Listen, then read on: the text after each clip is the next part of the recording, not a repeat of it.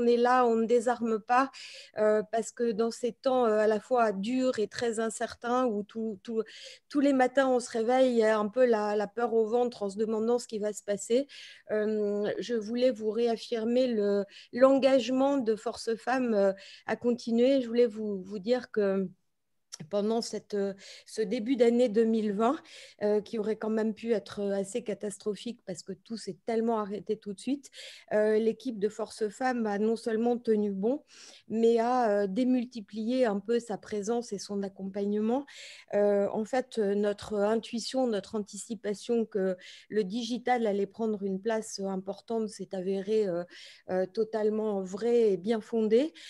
pendant le confinement, entre septembre, entre mars et septembre, on a, euh, grâce à nos partenaires, grâce à nos 900 euh, bénévoles, euh, dans nos 16 antennes, parce qu'on est 16 antennes, on a continué notre présence, on a pu tenir près de 4000 entretiens en face-to-face, on a fait 2000 ateliers virtuels, on a fait des webinars. Euh, nos plateformes, euh, vous savez qu'on a deux plateformes digitales, une pour l'emploi euh, et une qui s'appelle Ma boîte pour les créatrices d'entreprises et euh, qui ont vu toutes euh, des, accès euh, un peu élargis à toutes les femmes, pas seulement à celles de Force Femmes, mais des accès élargis. Et on, a beaucoup d'inscrites. on a eu plus 700 sur la partie vers l'emploi, qui est notre plateforme de, de modules de formation au retour à l'emploi. On a eu plus 600 pendant cette période sur la partie Ma boîte. Donc, on a des outils, des systèmes, une, présence qui ne s'est pas du tout, qui ne s'est pas affadie, au contraire. Et je dis un grand merci à la fois à tous nos partenaires et à tous nos bénévoles et à nos femmes. On accompagne 2000 femmes à date. on a eu plus de 900 inscrites pendant cette période, ce qui montre bien une certaine attente et je n'allais dire aussi une anxiété, mais l'anxiété, on la partage tous et toutes, euh, chacun à, nos niveaux. donc, euh, le premier message, euh, avant qu'on dialogue avec Ruth sur toutes les questions qui concernent un peu les évolutions, et pendant cette journée, vous allez entendre des expertes, vous allez avoir des ateliers cet après-midi. le message, c'est de tenir bon, on est là, on ne désarme pas, et on n'a jamais été aussi active, proactive que pendant cette période. Oui, Véronique, effectivement. Donc d'abord, euh, on, va, accueillir peut-être nos invités, mais on va les remercier effectivement. Euh, il y aura Aurore Ruffier euh, de la Fondation FAS, il y aura Fabienne Arata, la patronne de LinkedIn, Stéphanie Osmond du groupe La Poste, Vincent Poirel de Michael Page. on attend aussi Virginie Malnois, qui est directrice du Centre Hauts-de-France et membre du comité de la Direction générale d'Harmonie Mutuelle. Mais d'abord, Véronique, je voulais savoir un petit peu maintenant euh, à quoi on va servir, comment ça va se passer, parce que c'est vrai que le climat général, euh, on en parlera avec nos intervenants, euh, n'est pas, pas à l'optimisme et le rôle de Force Femmes peut être au contraire décuplé par la crise.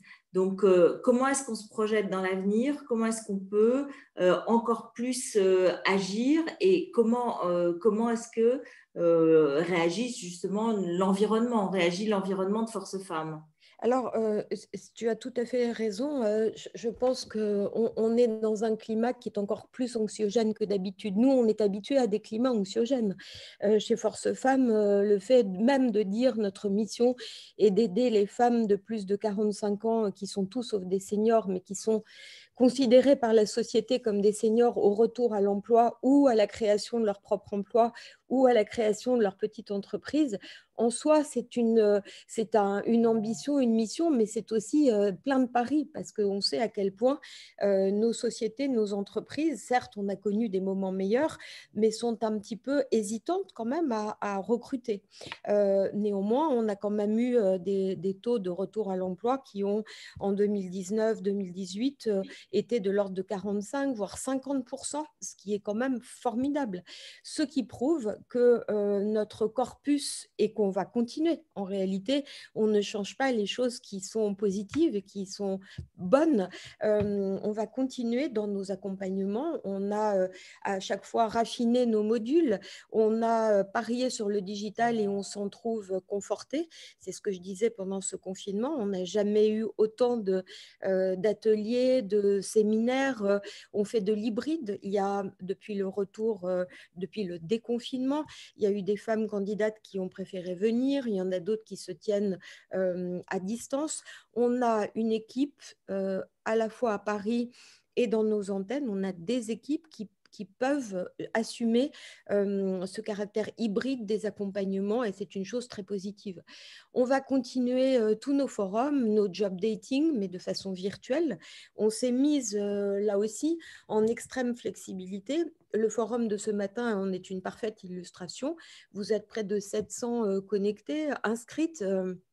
Euh, euh, tous les, forums, euh, la rencontre des entrepreneuses qu'on va avoir en novembre témoignent aussi de, l'attractivité de nos accompagnements et du caractère essentiel pour les femmes qui se posent des questions et qui ont besoin de ne pas rester seules, en tous les cas pour lesquelles pour nous, c'est une impérieuse nécessité. Il faut surtout pas rester seul. Il faut continuer euh, à y croire et à rester connecté à tous les sens du terme. C'est vraiment le cas de le dire.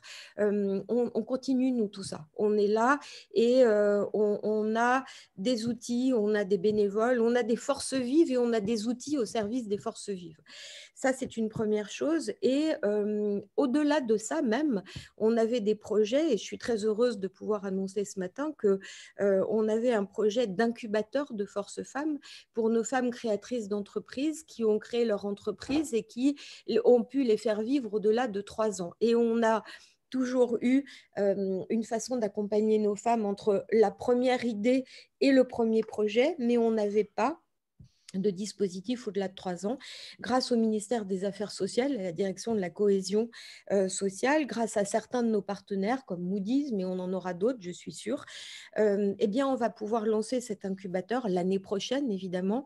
Et là, l'idée, c'est de pouvoir euh, proposer à des femmes qui ont créé leur boîte et qui ont tenu les trois premières années eh bien, un accompagnement qui tient du, du bilan, de la roadmap opérationnelle, des prochaines étapes avec à la fois du collectif et de l'individuel comme on a toujours su faire. Euh, donc euh, voilà, on reste très proactive même dans des moments d'incertitude. Et comment réagissent nos, partenaires traditionnels? Parce qu'ils sont aussi touchés euh, par la crise, ils sont aussi touchés euh, par un certain nombre ben, euh, d'impossibilités. Ils sont un peu repliés sur eux-mêmes pour essayer de, régler leurs propres euh, impératifs. Est-ce qu'ils sont toujours présents? Est-ce qu'ils sont toujours présents à nos côtés? Alors ça, c'est assez formidable parce que effectivement, on a des partenaires qui ont connu des temps extrêmement difficiles, qui sont dans le retail par exemple et qui ont vu leur activité chuter, qui ont dû faire eux-mêmes des plans sociaux et qui, en dépit de tout ça, ont continué à nous apporter leur soutien. Et quand je dis soutien, c'est pas seulement financier, ce sont des soutiens aussi en accompagnement de la part de bénévoles en interne. on a pu remettre le prix de la créatrice d'entreprise pendant le confinement en digital euh, grâce à des partenaires. Et en fait, grâce à nos partenaires, euh, euh, on a même pu augmenter le nombre des prix décernés en, guise d'encouragement et de reconnaissance à toutes ces femmes qui se battent, quoi qu'il en soit, parce que franchement, la création d'entreprises dans ces périodes-là, elle est encore pire. On a beaucoup, beaucoup de petits projets qui sont arrêtés ou qui sont vraiment mis à mal. Et donc, on a un engagement de nos partenaires au-delà des temps difficiles et c'est assez formidable. Est-ce que du coup, le, digital nous a permis aussi euh, d'atteindre un certain nombre de femmes qui sont physiquement loin et auxquelles finalement on ne pouvait pas s'adresser parce que euh, bah, on n'était pas présente dans nos antennes. Euh, est-ce que on, peut avoir valorisé finalement ce moyen-là alors que c'était un peu une peut-être une faiblesse hein? Il y a des endroits où on n'a pas d'antenne. Alors, euh, bien sûr, je, dois dire qu'on a euh, non seulement, euh, on avait parié sur le digital, on, pardon, on avait parié sur le digital et on s'en est trouvé bien parce que effectivement, euh, le digital, à travers ces plateformes, permet un accès élargi à des femmes, pas seulement des femmes de force femmes et finalement pas seulement à des femmes de plus de 45 ans. Euh, certes, tu as raison, c'est une faiblesse de ne pas pouvoir être présente partout sur le territoire. Donc, grâce à nos outils digitaux, dans nos antennes, mais en dehors de nos antennes aussi, comme on fait là, euh, on, a, on propose un accès élargi. D'ailleurs, c'est un de mes grands regrets de ne pas pouvoir euh, lancer actuellement, mais on le fera, j'espère, plus tard, euh, notre fameux troc, euh, le camion itinérant de Force Femmes. Je, dis ça en souriant parce que c'est un projet ambitieux. L'idée, c'est justement, comme tu le disais, pour toutes les femmes qu'on ne peut pas atteindre, même dans nos hubs régionaux, d'aller à leur devant avec des petits camions et de pouvoir leur proposer euh, euh, des, euh, des, petits accompagnements, des petits programmes simplifiés, ne serait-ce que d'être, de témoigner une présence itinérante. Et ça, c'est un engagement que j'ai envers moi-même et envers Force Femmes, de pouvoir le mettre en place, quoi qu'il en soit, ça sera un peu plus tard. Oui, alors cette année, si on essaye de se projeter pour refaire un peu un, planning, une forme de, perspective, de projection, malgré les incertitudes, parce qu'elles existent au quotidien et on sait que demain soir, euh, euh, le président Macron va faire encore des annonces, qu'on euh, on est un peu suspendus tous aux différentes annonces. comment tu vois l'année qui vient? Donc l'année, est-ce qu'on la prend de la rentrée de septembre, quand Force Femmes réouvre ses portes à septembre Est-ce qu'on prend une année 2020 telle qu'elle? Je pense qu'on va finir l'année exactement comme on a vécu ce confinement depuis mars. Et l'année finalement 2020 restera une année très active pour Force Femmes, puisque en aucun cas elle n'aura vu une baisse d'activité de tout ce qu'on propose. on a été encore plus active et on a, encore une fois, je redis les chiffres, on accompagne 2000 femmes à date, on a fait près de 4800 entretiens de, de, janvier à septembre, 2300 ateliers, on a eu 1000 inscriptions pendant la période du confinement, donc c'est une année 2020 presque comme les autres si j'ose dire, avec euh, euh, un appui euh, encore plus grand sur toutes nos bénévoles qui, qui se sont révélées présentes. Et paradoxalement encore plus disponibles, puisqu'elles-mêmes étaient chez elles, beaucoup en télétravail, et donc euh, elles ont vraiment mis leur temps euh, disponible, pour autant qu'elles en aient eu supplémentaire, euh, au service de Force Femmes, et c'est assez formidable. on a remis le prix de notre créatrice, on va réenclencher la campagne pour le prix prochain de l'année prochaine. On, va, euh, on a ce forum digital, la rencontre des entrepreneuses en novembre. On a des job dating qui se continuent. Donc, euh, du point de vue des, événements, euh, on a évidemment, on n'aura pas les événements en présentiel parce que c'est quand même euh, trop risqué et trop incertain. Euh, les antennes tiennent le coup. On a fait un point avec toutes nos antennes régionales récemment avec Sophie, qui est notre Sophie Fenot, nouvelle, déléguée, générale. et se, nos, nos patronnes d'antennes et nos bénévoles des antennes sont toutes présentes, où qu'elles soient. Euh, et même si elles n'ont plus de lieu, parce que les mairies ont dû fermer euh, les maisons des associations, euh, eh bien, elles se débrouillent. on fait encore une fois de chez nous comme on a fait. Donc, il y a vraiment une adaptabilité de Force Femmes qui est assez extraordinaire. pour 2021, on est quand même toutes euh, un peu en attente de savoir euh, euh, quels seront les protocoles sanitaires qui vont s'imposer à nous. Là, actuellement, Sophie me disait qu'on hum, n'a presque personne en physique à Paris. D'abord parce que l'équipe est un peu toute cas de contact et qu'on applique les protocoles sanitaires de, de précaution. Mais néanmoins, l'activité reste forte de nos entretiens.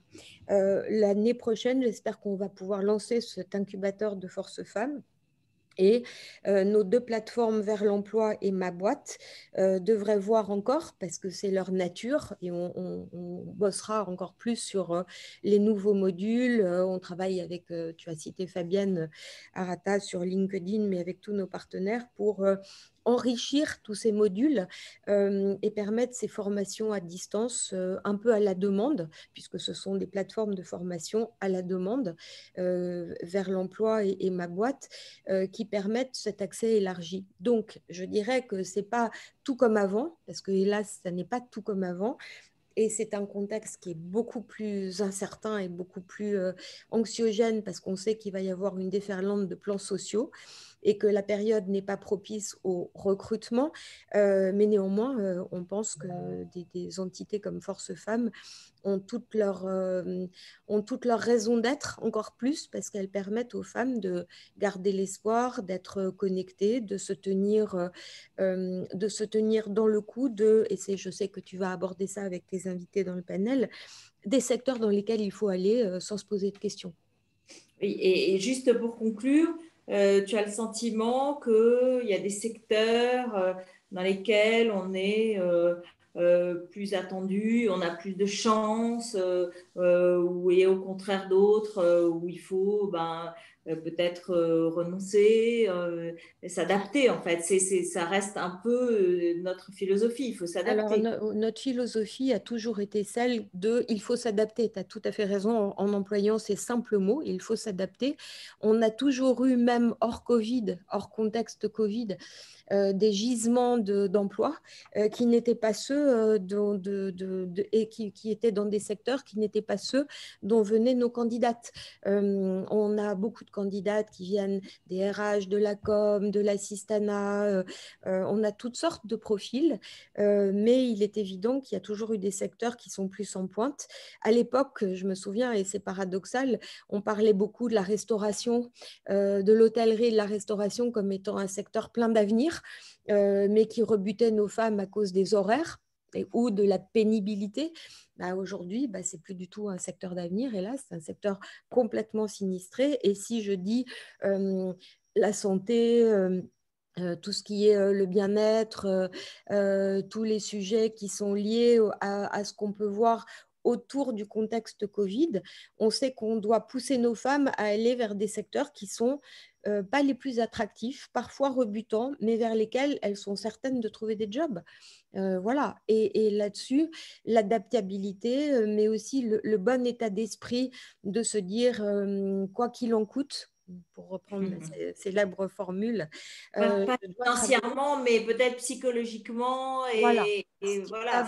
plus, ce qui va être beaucoup plus important, c'est le psychologiquement. Comment on prépare nos femmes à migrer, à se dire que, bah oui, pourquoi pas, alors que jamais de la vie, elles n'y auraient pensé, ou jamais de la vie, elles n'auraient voulu euh, même regarder euh, ces secteurs. Et ça, c'est un travail important. Ça n'est pas du tout un travail aisé. Parce que rien ne va de soi et on les comprend. On se dit nous-mêmes, est-ce que du jour au lendemain, je serais prête à aller, je vais caricaturer, bosser dans un EHPAD? C'est pas du tout non plus le, bon, endroit, mais voilà, il y, a, des secteurs autour de la santé, de l'accompagnement social, qui sont des secteurs dans lesquels on manque cruellement de bras et, dans lesquels il faut peut-être aller. Ce ne sont pas les seuls. il y a tous les sujets de la technologie aujourd'hui qui sont des sujets importants et, là, on touche à, l'attrait des femmes et à leur capacité, en tous les cas consciente, à se dire qu'elles peuvent aller vers des secteurs qui sont plus techniques, plus numériques, plus digitaux où on a d'énormes besoins parce que c'est là-dessus, nos sociétés vont se transformer. Voilà. Donc tout ça n'est pas très facile et on s'arme de patience, on y croit et on fera tout pour accompagner nos femmes vers ces secteurs-là. En tout cas, le message principal, c'est on est là, on est là, on continue à être là. Euh, toutes les bénévoles euh, sont là, euh, tout le staff de Force Femmes est très engagé. Sophie Fenot, qui, vient d'arriver, qui vient de nous rejoindre, est, à la tête et est complètement engagée. Et donc, ça, c'est quand même l'essentiel du message d'aujourd'hui. Maintenant, peut-être que Véronique est avec toi et avec nos invités. On va aller plus dans le détail. je rappelle donc qui est avec nous. Aurore Ruffier, qui est responsable réseau et insertion au sein du club d'entreprise Face Paris. merci, vous, vous avez été d'abord en charge du développement des partenariats publics de Face Paris et vous avez coordonné en 2019 Compétences 45 +. et vous, accompagnez chaque année 300 demandeurs et demandeuses d'emploi de 45 ans et, plus sur Paris. nous avons euh, Fabienne Arata, merci beaucoup. Euh, on s'est parlé hier et c'était absolument passionnant et je pense que ça va être très bien parce que euh, vous avez un, message très positif qui m'a un peu rassurée parce que vous connaissez très bien l'état des lieux du marché de l'emploi et, dans ce contexte du Covid en, en général avec LinkedIn évidemment. Vincent Poirel, vous êtes responsable d'égalité des chances et RSE dans le groupe Michael Page. vous occupez le poste responsable égalité des chances et RSE depuis plus de dix ans, rattaché à la DRH en charge des questions d'égalité des chances et, diversité. Donc, vous formez tous les, consultants Michael Page à la lutte contre les discriminations. Euh, et donc, du coup, euh, vous intervenez aussi pour nous euh, à Force Femmes. Ça, c'est très important. dans plusieurs cabinets de recrutement, il y a tout un travail à compétences égales qui est fait autour de la non-discrimination. il y a avec nous aussi Stéphanie Osmond. Stéphanie Osmond, qui est directrice de l'innovation sociale et environnementale en charge de l'engagement sociétal au, sein du groupe La Poste. Euh, c'est comment La Poste s'engage concrètement. Euh, c'est une il y a une forte politique de mécénat, un engagement en interne qui est depuis 2019. Il y a beaucoup de dispositifs seniors. Et donc, c'est un peu l'adaptation aujourd'hui. Comment est-ce qu'on fait et puis Virginie Malnois qui nous a rejoint, merci beaucoup, d'Harmonie Mutuelle, directrice région Centre-Île et Hauts-de-France, membre du comité de direction générale Harmonie Mutuelle. Et c'est très intéressant parce que c'est à la fois une entreprise, mais une entreprise un peu euh, pas comme les autres malgré tout, puisque c'est euh, l'engagement des, mutuelles et euh, avec une politique de recrutement justement peut-être un peu différente vu le, contexte.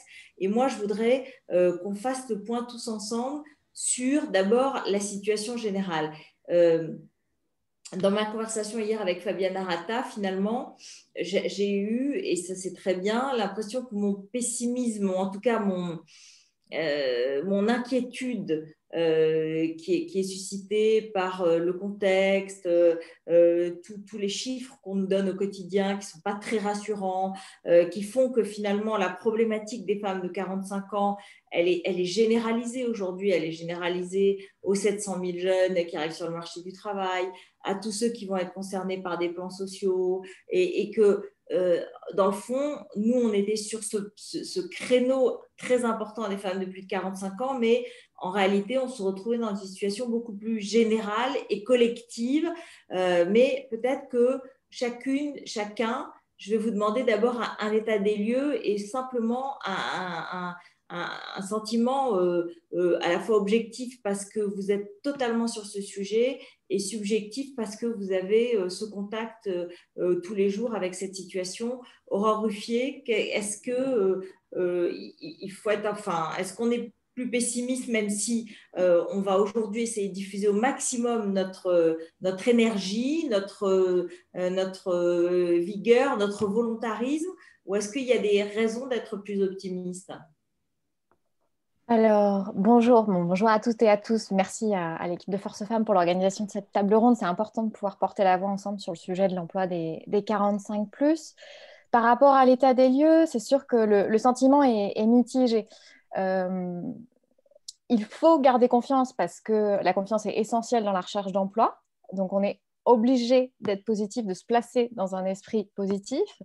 Euh, et en, ça, je trouve que le, basculement euh, qu'il y a eu pendant le confinement, les acteurs de l'emploi qui ont proposé des actions en visioconférence notamment, ça a permis de garder les personnes mobilisées. Et ça, c'était très important, de ne pas tomber dans le désespoir, effectivement, face à une situation où, euh, euh, quelque part, est-ce que cela sert encore que je cherche un emploi dans une situation économique aussi, aussi sinistrée, on va dire le fait de pouvoir continuer à poser les pierres, à prendre des outils, à s'impliquer dans sa recherche d'emploi, dans la construction de son projet professionnel, c'était très important pour ne, voilà, ne pas tomber dans, ce désespoir-là, mais au contraire, euh, sentir qu'on avançait, qu'on continuait de former le projet, euh, bien sûr.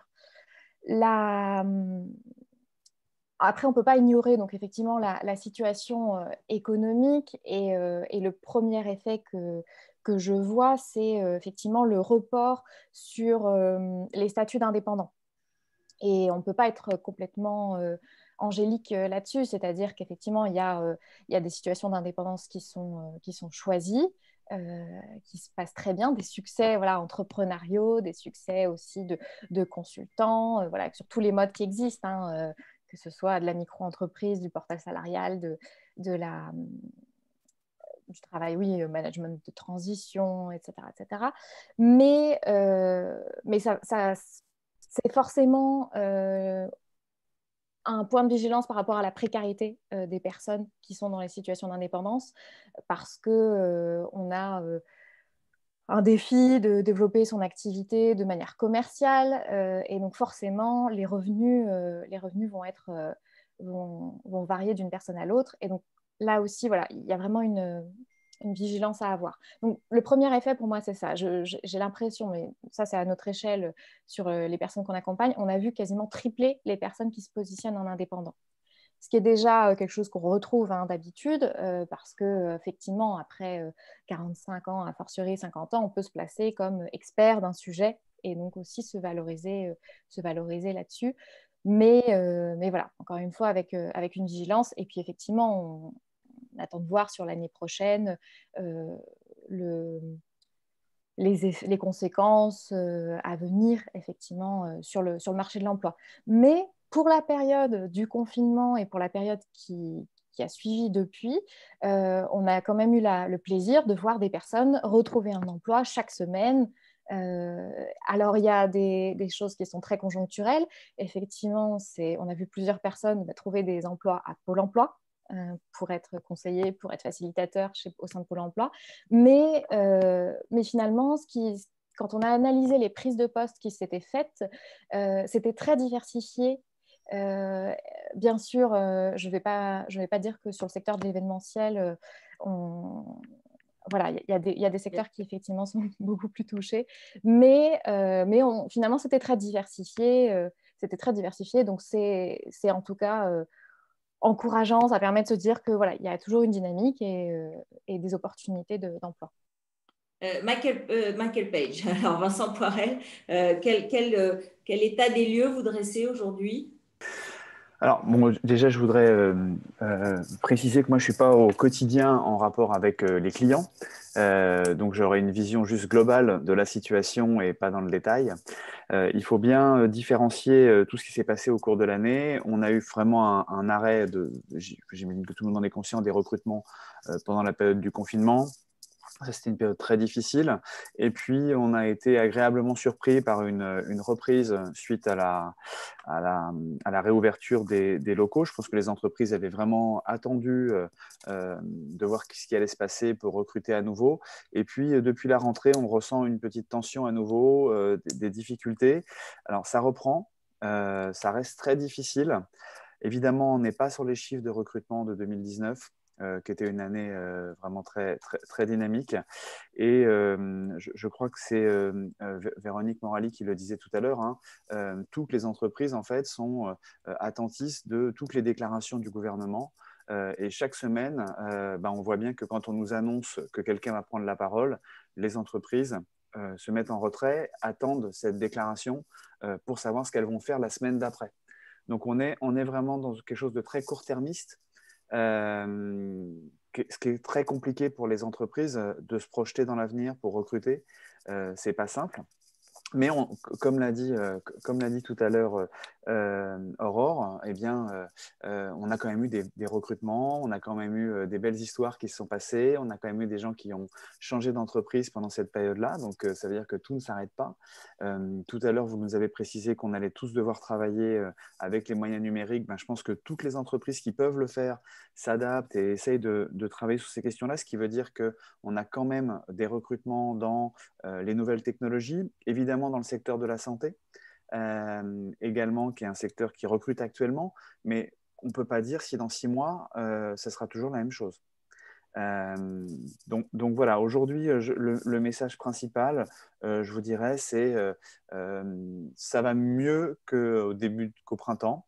ça reste difficile mais on est vraiment dans une politique euh, attentiste de semaine en semaine de ce qui va se passer, d'un climat qui est pas rassurant pour les chefs d'entreprise et donc euh, euh, ils ont du mal à se projeter dans l'emploi, je pense. Fabienne Arata, alors moi, on s'est parlé hier et ça m'a donné un peu une énergie nouvelle et une vigueur nouvelle parce que parce qu'il y a, y a quand même des très bons indicateurs et, qu'on connaît peut-être moins. Hein. Absolument. Euh, oui, alors moi, le message que, que, j'aimerais passer, alors avant toute chose, merci pour l'invitation et merci pour euh, l'organisation de, de, cette table ronde et, bravo à toute l'équipe Force Fan pour avoir euh, tenu la barre de manière aussi impliquée et forte en cette période un peu complexe. effectivement, moi, le, message que, que, je souhaiterais passer est à la fois un message d'optimisme parce qu'on a, on a un certain nombre de signaux euh, positif et puis surtout un message de conquête.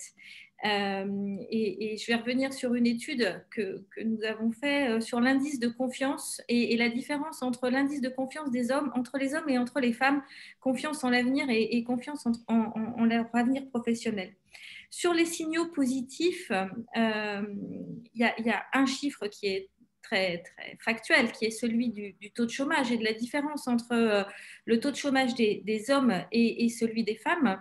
Euh, on constate que celui des femmes est non seulement inférieur, mais qu'en plus, il y a une diminution significative et que l'écart s'est creusé euh, de manière malheureusement favorable, mais néanmoins, ça nécessite pour les femmes et je reviendrai sur leur indice de confiance, d'en prendre conscience euh, que le, taux de chômage des femmes entre le premier et le second trimestre, donc en pleine période de confinement, en pleine période de crise, a diminué et a diminué beaucoup plus vite. Donc ça, c'est quelque chose à avoir à l'esprit. En ce qui concerne les taux de recrutement, ce que nous avons euh, constaté sur la plateforme, c'est qu'à partir du mois de juin, les taux de recrutement se sont mis à remonter et sont revenus au niveau du mois d'août à peu près au niveau où ils étaient en, janvier-février, c'est-à-dire juste avant euh, la période de confinement. Aujourd'hui, le ratio nombre euh, d'offres d'emploi versus candidature est stabilisé. Alors, comme le, disait euh, Vincent Poirel, aujourd'hui, on, ne sait pas encore si ces signaux positifs sont de nature à être pérennes, mais pour autant, capitalisons dessus, je serais tentée de dire, prenons ce qui est bon à prendre et et capitalisons sur le positif. Euh, et c'est pour ça que j'aimerais passer un, message de conquête, parce que euh, lorsque je, vois cette, euh, cette, étude sur l'indice de confiance que nous avons publié, ce qui me frappe, c'est la manière dont les femmes analysent, envisagent l'environnement auquel vous faisiez référence, Ruth, dans votre introduction, qui est, oui, cet environnement anxiogène, oui, ces signaux de partout qu'on entend, euh, les femmes l'analysent avec un indice de confiance qui est sept fois euh, moins confiant que celui des hommes. Euh, elles, ont une confiance en l'avenir beaucoup plus faible, beaucoup plus fragile, et elles ont aussi une perception du stress beaucoup plus forte. Les, pourcentages sont, sont, criants de différence. Je crois qu'on doit être à 47% pour les femmes vivant une anxiété versus 37 ou, ou, 38 pour les hommes. Donc, voilà, c'est aussi une manière de vivre la situation, une manière d'anticiper l'avenir. Et, je pense que la Force Femme a, tout son, son, rôle à jouer, et c'est ce que soulignait euh, Véronique dans, ses propos précédents. Effectivement, donc il y a euh, une conquête possible. Stéphanie Osmond, que, euh, comment vous réagissez à ça? Comment est-ce que vous dressez-vous dans votre expérience de cette année la situation? Bonjour tout le monde, ah, bah, merci pour l'invitation et euh, je suis ravie effectivement d'être là et de partager ce moment avec vous. Euh, au niveau de l'entreprise, euh, la Poste, effectivement, on est dans une situation un petit peu paradoxale puisqu'on est une entreprise qui a plusieurs métiers. Certains, effectivement, avec le confinement, ont connu un bond, notamment le, colis. Après, on a d'autres activités qui sont en grande difficulté, le courrier qui effectivement a perdu 2 milliards cette année.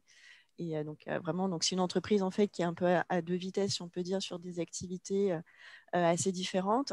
Et en seul, la crise du confinement est arrivée à un moment où on était en train de redéfinir notre plan stratégique et en même temps en train de définir notre, notre raison d'être, puisque notre choix aussi, c'est d'aller effectivement vers une structure qui soit à impact positif sur, sur la durée. Donc en fait, la crise cristallise effectivement différents enjeux, mais en même temps permet effectivement d'accompagner, alors c'est pas évident parce qu'il faut convaincre en interne, mais d'accompagner effectivement une redéfinition du modèle.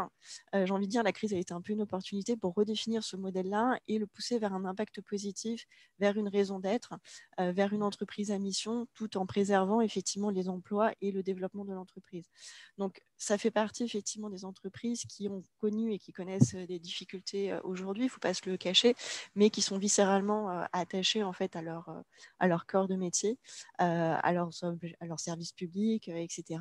Et on veut effectivement accompagner tous ensemble, puisque la définition du plan stratégique et associer l'ensemble des parties prenantes, y compris des citoyens, puisqu'actuellement on a des conférences qui ont lieu un peu sur l'ensemble du territoire pour associer aussi des citoyens, pour vraiment, on le prend vraiment comme une opportunité pour redéfinir quelque chose de, positif. Après, au quotidien, effectivement, il faut le temps. on est une grande entreprise de 250 000 personnes. Donc, voilà, il faut accompagner et effectivement accompagner ce changement-là. Euh, mais on sent des opportunités qui, vont venir euh, de façon à accompagner effectivement cette, reprise euh, et surtout avec une vraie volonté de l'entreprise de laisser personne sur le carreau et d'accompagner via la formation, la transformation des métiers, l'accompagnement des personnes. Euh, l'année dernière, on a fait plus de 80 000 heures de formation. Donc, il y a toujours cette volonté d'accompagner l'ensemble des collaborateurs dans cette transformation euh, des métiers. Et, est-ce qu'il y a des, recrutements? Est-ce que c'est un lieu où on, est dans une politique de recrutement possible? Alors, on fait beaucoup euh, d'apprentissage, ça c'est sûr. du recrutement, ça va plutôt être sur des territoires donnés en fonction des besoins. Euh, il ne va pas y avoir une grande politique de recrutement euh, parce qu'effectivement, actuellement, ce n'est pas, dans, le, trend. En attendant, on reçoit quand même régulièrement des fiches de mission et des postes qui sont ouverts, mais ça va être effectivement dans certains territoires parce qu'il va y avoir un besoin ponctuel. Donc, ce n'est pas une politique globale. On ouvre et on, accueille 10 000 personnes, mais il y a effectivement, dans l'ensemble de nos filiales, on en a beaucoup qui sont en développement quand même, des opportunités qui existent, etc. Et on a participé à quelques job dating, notamment avec, avec Force Femmes. et donc, du coup, il y a eu effectivement trois recrutements qui ont pu être faits à, cette occasion. Donc, il y, a des, il y a des possibilités, etc. Donc, ça, c'est plutôt, plutôt positif. Mm. Euh, Virginie Malnois, comment, comment du côté de l'entreprise, on, regarde la situation aujourd'hui? Bonjour à tous, merci également de, de, m'accueillir. Euh, alors, on, je porterai deux regards. D'une part, en interne, euh, au sein de la, mutuelle et plus largement du groupe Vive auquel Harmonie Mutuelle appartient. Là, on continue à, recruter hein, sur des postes de commerciaux, euh, sur des postes de centre d'appel. Alors, centre d'appel, parfois, ça paraît un peu euh, difficile pour les personnes en se disant c'est des, des, métiers compliqués, etc. Alors, nous, tous nos centres d'appel nous sont en France et on, veille quand même à ce que les collaborateurs se sentent bien. Et euh, sur certains de nos centres, quand on centre d'appel, quand on se déplace, les gens sont heureux de, faire ce job-là. Donc, ils continuent à, recruter sur ces postes-là. On recrute en agence et on recrute des commerciaux itinérants sur des postes pro-TPE. Et au sein du groupe Vive, bien sûr, sur tous les métiers de soins, qui sont quand même des grands métiers d'avenir, on, recrute. On, travaille aussi sur euh, des cellules d'accompagnement euh, euh sociaux sur vis-à-vis des entreprises. C'est un service qui est de plus en plus demandé et on a également ce travail-là en interne. Donc nous, on a continué à recruter, même pendant le, confinement, sur ces sujets-là. Et en plus, je dirais qu'on ouvre davantage nos portes puisque on permet, avec le télétravail, finalement, de travailler un peu plus loin de son, de son job, euh, puisque actuellement les gens travaillent à peu près à 50% en, télétravail. Et puis si on est sur des cas de figure un peu particuliers, on peut même ouvrir un petit peu plus, alors pas pendant la période de formation bien sûr, mais euh, ensuite, ce qui permet aux gens de, euh, de travailler plus proche de, de, chez eux et donc de, de rester chez eux et de trouver un job qui est peut-être plus éloigné géographiquement. Donc ça, ça, ça ouvre davantage de portes. Ça, c'est pour la vision interne. Et puis pour la vision externe, en revanche, je porte un, regard un peu moins positif, parce qu'on accompagne beaucoup d'entreprises. On a 60 000, plus de 60 000 entreprises hein, qui sont adhérentes chez nous. Et on voit bien que même si les situations sont assez différentes, globalement, c'est vrai que le marché est assez tendu, voilà, que les entreprises rencontrent des difficultés. Mais ce qui me fascine, c'est la volonté de toutes ces entreprises de préserver le capital humain, de travailler pour permettre de maintenir l'emploi. Donc il y a, une vraie responsabilité de, ces, de ces employeurs. Et tout ça, je me dis que ce sont quand même des éléments, malgré la difficulté actuelle, positifs pour traverser la crise. Donc même si je pense qu'effectivement, il faut que le maître mot, c'est certainement l'adaptabilité. Et nous, on travaille aussi en interne, hein. en permanence.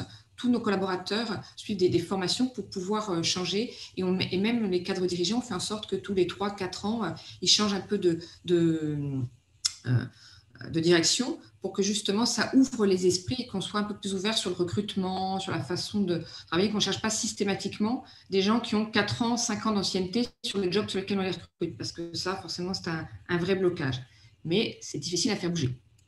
Alors, justement, maintenant, on parle des, femmes de plus de 45 ans euh, face au marché du travail dans lequel, euh, finalement, euh, tout le monde est un peu à égalité. Dans le fond, Véronique, c'est vrai que nous, c'est notre, notre mission euh, comment est-ce qu'on peut dire aux femmes de plus de 45 ans, bon, mais en fait, c'est pas parce qu'il y a aussi beaucoup de jeunes qui sont sur le marché du travail, parce qu'il y a des, plans sociaux, euh, n'est pas question de se décourager. On peut partir avec la, même énergie, avec la même volonté finalement que les années précédentes.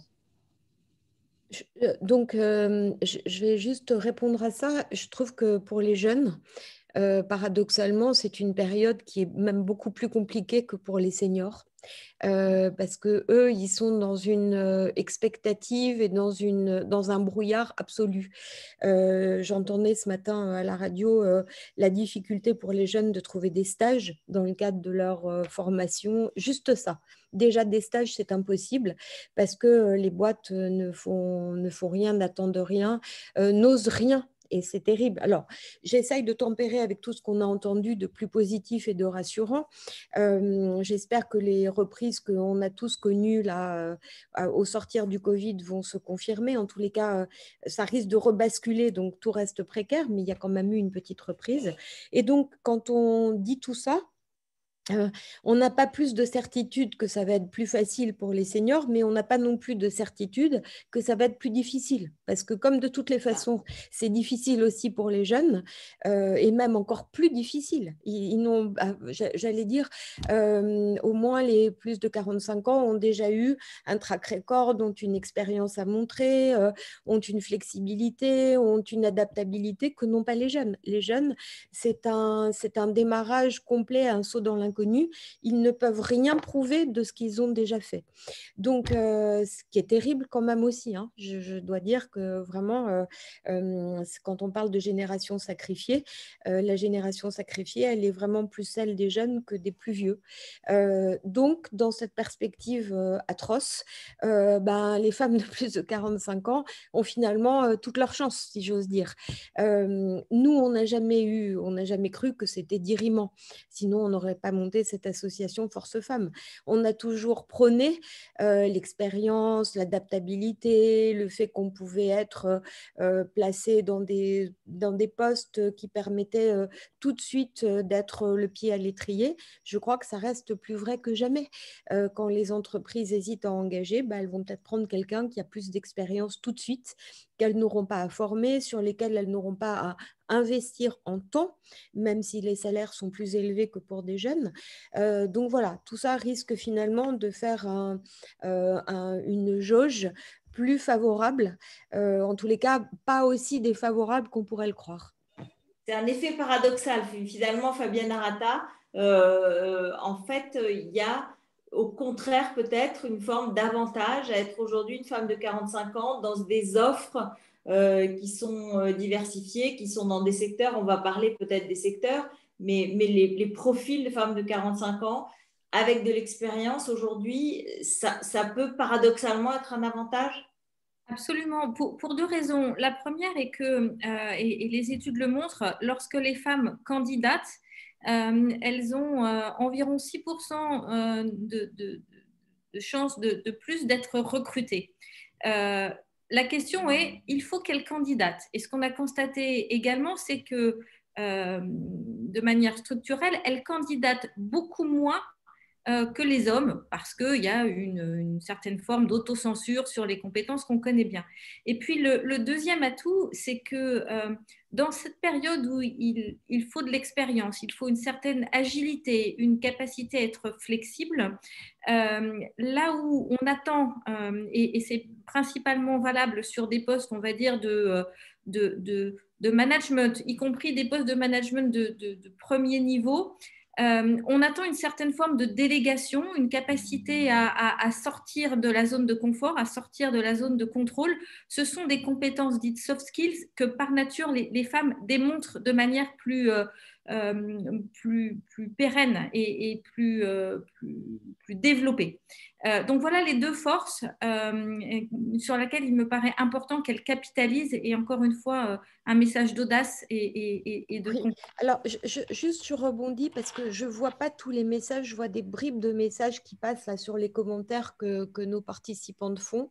Et j'ai saisi grâce à mes lunettes parce qu'il faut, il faut aller vite et, c'est petit, un sujet sur les aides de l'État qui effectivement sont plutôt ciblées sur les jeunes puisque dans le cadre du plan de relance, euh, on a les entreprises pour euh, engager les jeunes. Euh, c'est vrai, et c'est vrai qu'il n'y a pas d'aide spécifique pour les seniors. D'ailleurs, il y a rarement eu, je ne sais même pas depuis les 15 ans qu'on a démarré Force Femmes, s'il y a eu des moments où on a eu des aides dédiées aux seniors. Il y a eu des plans, il y a eu des plans intergénérationnels, il y a eu des plans euh, un certain nombre de choses qui, qui, qui ont existé, qui voilà, ne ciblaient pas les femmes spécialement, mais qui ciblaient les seniors. Ciblaient les seniors. Bon, c'est euh, comme toutes les aides de l'État, euh, moi je ne sais pas s'il faut en attendre autre chose que du court terme. C'est Vincent tout à l'heure qui parlait du tactique, du court terme. On y est plus que jamais. Hein personne aujourd'hui ne fait vraiment du long terme, des investissements euh, de long terme, ne se projette autrement qu'en tactique et à court terme. Et comment le pourrions-nous? C'est très difficile. Euh, euh, moi-même, j'ai une entreprise avec des jeunes. On, est quand même confronté avec ce sujet de gérer les trois mois qui viennent ou même les six mois. Et, et c'est difficile de savoir si on ne va pas avoir une nouvelle crise sanitaire, un nouveau confinement. Demain, le président parle, on ne sait pas ce qu'il va annoncer. Bon, donc voilà. Donc, OK, il y a des aides qui aident plus les jeunes et c'est normal, c'est quand même un affichage politique euh, euh, important. Je ne pense pas que ça soit ça empêche les femmes de retrouver un emploi. De toutes les façons, nous, hein, je vais vous dire, on a un parti pris. Vous nous trouverez peut-être totalement à la fois audacieuses et bornées, mais si nous, chez Force Femmes, qui sommes la seule association à parler des femmes de plus de 45 ans, by the way, hein, c'est quand on a démarré cette association, souvenons-nous bien qu'on nous a prises pour des folles absolues personne ne se soucie des femmes de plus de 45 ans, 50 ans. Ça veut dire, ça ne veut rien dire. Et on n'est pas des seniors, on a toujours prôné ça. Bon, donc, on ne va pas continuer, on ne va pas arrêter tout d'un coup euh, dans un contexte plus compliqué. On en a connu d'autres, on en connaîtra d'autres, à se dire, on n'a pas nos chances. Bah si, on a nos chances. Et il faut vraiment y croire. Mais il faut être souple et s'adapter. Euh, Aurore Ruffier, c'est un peu le constat que vous faites aujourd'hui. Il peut y avoir une forme euh, d'avantage et parce à condition de ne pas s'auto-censurer malgré la situation hmm. euh, alors moi, comme je, c'est vrai que je on reçoit voilà les, personnes en recherche d'emploi, c'est sûr que je suis à l'écoute de leurs ressentis. Et donc ce que ce que je reçois, bah oui, effectivement, c'est plutôt l'angoisse et le sentiment d'être euh, discriminé, de n'être pas privilégié.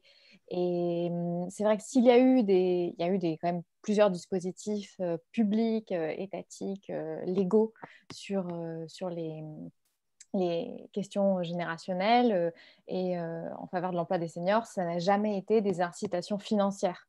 C'était plutôt des modalités, par exemple, comme le CD des seniors ou par le plan génération, où ça allait être peut-être une souplesse, mais voilà, il n'y avait pas, il y avait pas 4000 euros à la clé pour recruter quelqu'un de moins de 26 ans. c'est vrai que comme comme euh, les personnes qu'on accompagne euh, se, sont dans ce ressenti de la discrimination éprouvée, euh, c'est quand, même, quand même difficile d'aller à l'encontre et c'est important, je pense, de, je pense, de l'écouter. Vincent Poirel, là, c'est, il, y a, un conseil particulier, il y a des conseils particuliers qui sont un peu différents cette année par rapport à d'habitude? C'est difficile de, d'avoir des conseils différents des autres années. Déjà, je voudrais vous remercier d'être audacieuse et bornée. Euh, chez Force Femmes euh, parce que ah c'est important. Vous pouvez compter sur nous, Vincent, euh, surtout sur le borné en fait aussi. et audacieuse aussi, hein, le, truc, le, truc Force Femmes, je trouve ça assez audacieux et dès, qu'on arrivera à le mettre en place, ce sera une belle aventure. Sur, les conseils, bah, d'habitude, on anime un atelier hein, dans cette journée, valoriser vos atouts.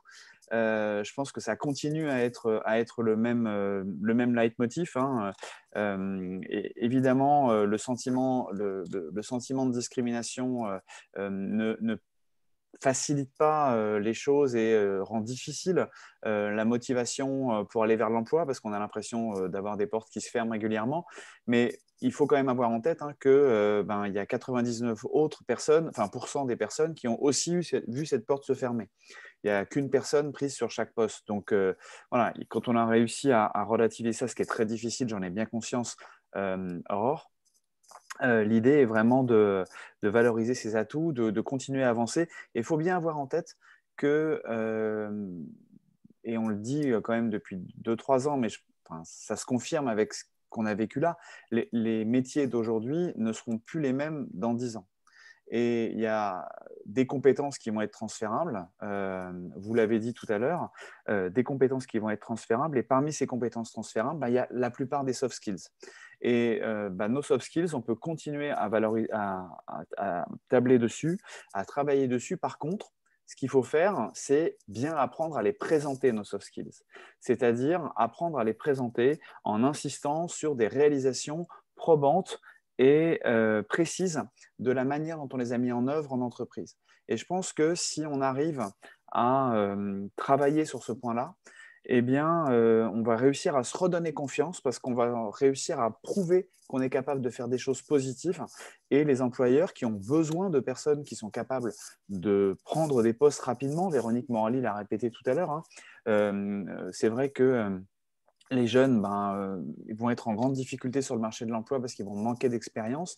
Les seniors, eux, vont pouvoir mettre en avant leur expérience, mais pas que leur expérience technique, aussi leurs soft skills, et prouver et démontrer qu'elles sont capables euh, de prendre des postes grâce justement à ces compétences comportementales.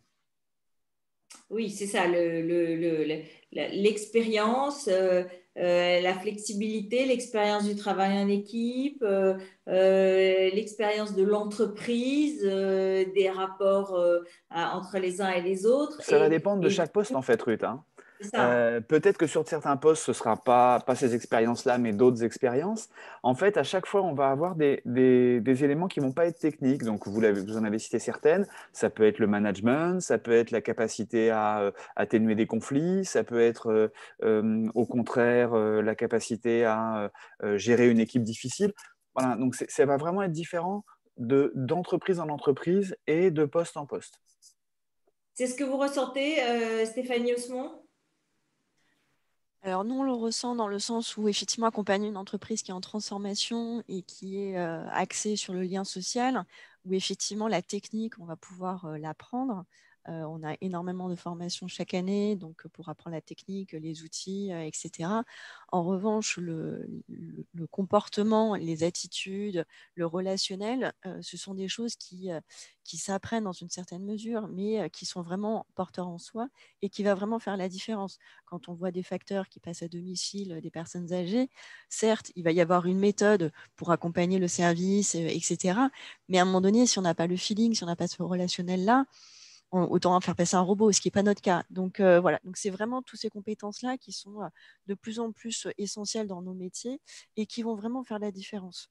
Parce qu'encore une fois, la technique sur beaucoup de métiers, ça s'apprend.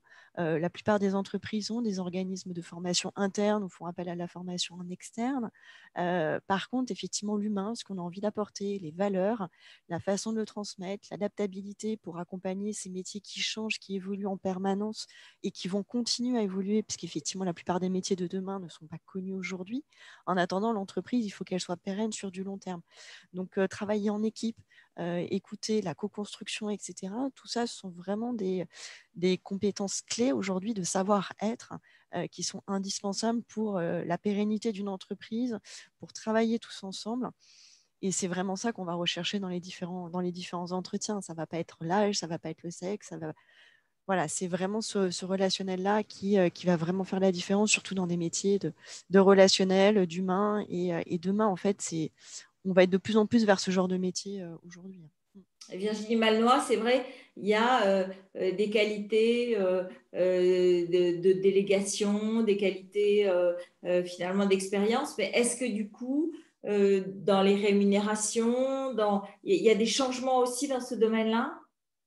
Alors, non, on, a beaucoup travaillé sur ces, sur ces sujets-là, parce qu'effectivement, euh, il y a cinq ans en arrière, il y avait quand même des écarts euh, euh, entre les salaires des hommes et des femmes. on a travaillé depuis cinq ans à réguler les choses. De toute façon, l'État a mis aussi en place des dispositifs qui, qui, tentent à améliorer les choses, mais nous, on avait commencé avant. Ce qui fait qu'aujourd'hui, au sein de, de, la mutuelle, il n'y a pas d'écart à expérience équivalente, puisque ça fait cinq ans qu'on réserve en fait un pourcentage de, euh, la revue annuelle des salaires, c'est-à-dire le, montant global pour les augmentations de l'année, on, réserve 10% au rattrapage des salaires pour les femmes ça, on, l'a fait. Donc maintenant, on est arrivé euh, à une équivalence euh, totale homme-femme. Parfois, sur certains postes, c'était les hommes qui étaient moins bien payés que les femmes, il faut quand même le, dire. Donc maintenant, tout a été euh, rattrapé. On n'a plus ce, sujet-là. Et ce qu'on constate en revanche, parce que je, rebondirai bien aussi sur ce qu'ont dit mes prédécesseurs, parce que c'est très vrai, nous on recrute de plus en plus en tenant compte des, des soft skills. Et on s'aperçoit que pour que ça fonctionne bien quand même dans des équipes, etc., on a besoin aussi de, euh, de dimension d'un peu d'humilité au sens euh, euh, propre du, terme. Et on s'aperçoit que globalement, les, les, femmes sont un peu mieux dotées que les hommes sur ces sujets-là. Et c'est peut-être justement l'histoire qui a, qui, a, fait Parfois, parfois un peu trop. Mais, mais c'est pour ça que je disais l'humilité au sens propre du terme, c'est-à-dire pas avoir un, un sentiment d'infériorité, ça c'est pas positif, mais d'humilité, c'est-à-dire de savoir que ben, on ne sait pas forcément tout et qu'on a besoin du collectif pour pouvoir avancer. Et ça, ce sont des, des, des, compétences qui sont très recherchées et que les femmes ont plutôt plus que les hommes et que l'on acquiert avec l'âge aussi. Donc voilà, donc euh, c'est important de le savoir. Et Fabienne Arata, alors maintenant on peut passer peut-être à au, secteur, qu'est-ce que vous observez euh, sur euh, est-ce que le conseil aujourd'hui, c'est dire il faut se repositionner, euh, il faut changer d'approche face à la situation, il faut s'adapter, on l'a dit, on l'a beaucoup répété, se remettre en question, être plus ouvert, être encore plus que d'habitude par rapport à ce qu'on dit bah, chaque année, d'une certaine façon, dans notre démarche. Je, suis désolée, je dois vous laisser tous et toutes là. Un grand merci à tout le monde et bon courage. Hein. et surtout une belle journée là en restant connecté. Ça fait chaud. Véronique. À bientôt. Merci Véronique. Euh, oui, moi je, dirais trois choses. La, première, effectivement, se, concentrer sur les secteurs qui aujourd'hui euh, recrutent euh, et recrutent de manière tendancielle. donc les, les, trois secteurs, on l'a dit, effectivement, l'ensemble des métiers relatifs au, à la santé au sens large, et, je ne pense pas seulement aux, EHPAD ou aux instituts de santé, mais euh, les, laboratoires recrutent également euh, et, ont beaucoup de, difficultés euh, à recruter sur un certain nombre de, métiers, l'ensemble des métiers relatifs à la donnée, par exemple. Est-ce que, est que, pardon, là, est-ce qu'il y a des formations possibles aujourd'hui? Est-ce qu'on a, on a augmenté l'offre de formation? Est-ce qu'on on a les moyens très concrètement d'aller se, se, reformer, se, se, renouveler justement pour être adapté à ces, à, ces offres? Oui, tout à fait. Alors, il est, il est essentiel, et ça serait mon, mon second conseil, c'est de cibler l'ensemble des compétences digitales. Euh, et, et, quel que soit le niveau de ces compétences, y compris les plus basiques, et aujourd'hui sont mises à disposition. Alors nous le faisons euh, sur LinkedIn et, nous le faisons euh, conjointement avec Microsoft et GitHub, de mettre à disposition des cursus de formation certifiants gratuits, et ce jusque fin mars, pour pouvoir se positionner sur l'ensemble des métiers digitaux et techniques ou également sur des métiers qui aujourd'hui ne sont pas digitales, mais se transforment justement pour accompagner la transformation de l'ensemble des entreprises. Donc des cursus de formation sur l'ensemble des sujets techniques et digitaux, euh, donc aujourd'hui mis à disposition gratuitement. Euh, mais, c'est valable chez LinkedIn. Et aujourd'hui, la crise a également euh, donné l'expression de, beaucoup d'efforts collectifs, publics et privés sur beaucoup de cursus de formation. Donc, je pense que là, il y a une opportunité à saisir. Et puis, au-delà des secteurs d'activité, donc métiers de la santé, services financiers et assurantiels au sens large, et l'ensemble des secteurs euh, techniques et technologiques, il y a aussi des, zones fonctionnelles et l'ensemble des métiers de la relation client sont des métiers aujourd'hui où les entreprises recrutent. On parlait tout à l'heure des centres d'appel, c'est une variante de la relation client. Euh, l'ensemble de des métiers relatifs à la satisfaction client et à l'après-vente sont également des métiers où on recrute énormément. Voilà, donc ça, c'est quelque chose que, que vous conseillez, euh, Aurore Ruffier? Est-ce qu'il y a une interaction avec ces secteurs? Est-ce qu'il y a une capacité à s'adapter des femmes qui viennent vous voir? Ah oui, de ce côté-là, bien sûr. Je, moi, je suis toujours marquée par la motivation, la flexibilité des personnes euh, qu'on accompagne. Euh, il, y a une, vraie volonté euh, de continuer à se former et c'est ce qui parfois justement a pu faire défaut dans, dans l'entreprise. Et par contre, je rejoins complètement Fabienne sur le fait qu'aujourd'hui, il y a une très riche offre de formation sur les compétences digitales et qu'il y a des opportunités à saisir pas euh, nécessairement pour faire un métier 100% digital, mais pour ajouter cette brique euh, de compétences au, profil de la personne. Voilà, à part, euh, après sur les secteurs, j'ai parlé tout à l'heure des, recrutements conjoncturels, effectivement, qu'il y avait pour Pôle emploi, mais, mais sur, le, sur le marché, effectivement, Fabienne ou, Vincent seront plus, seront plus informés encore. C'est vrai, Pôle emploi, c'est intéressant, effectivement, vu la crise, embauche et, recherche un certain nombre euh, de nouveaux salariés. Donc euh, voilà, c'est vrai que euh, c'est peut-être pas suffisamment répété, mais y aller, c'est pas seulement y aller pour chercher un emploi dans d'autres secteurs, mais c'est aussi pour chercher un emploi à Pôle emploi. Ça, c'est quelque chose qu'il faut, qu'il faut rappeler. Il y a aussi aujourd'hui bah, ces nouvelles formes de travail, le télétravail.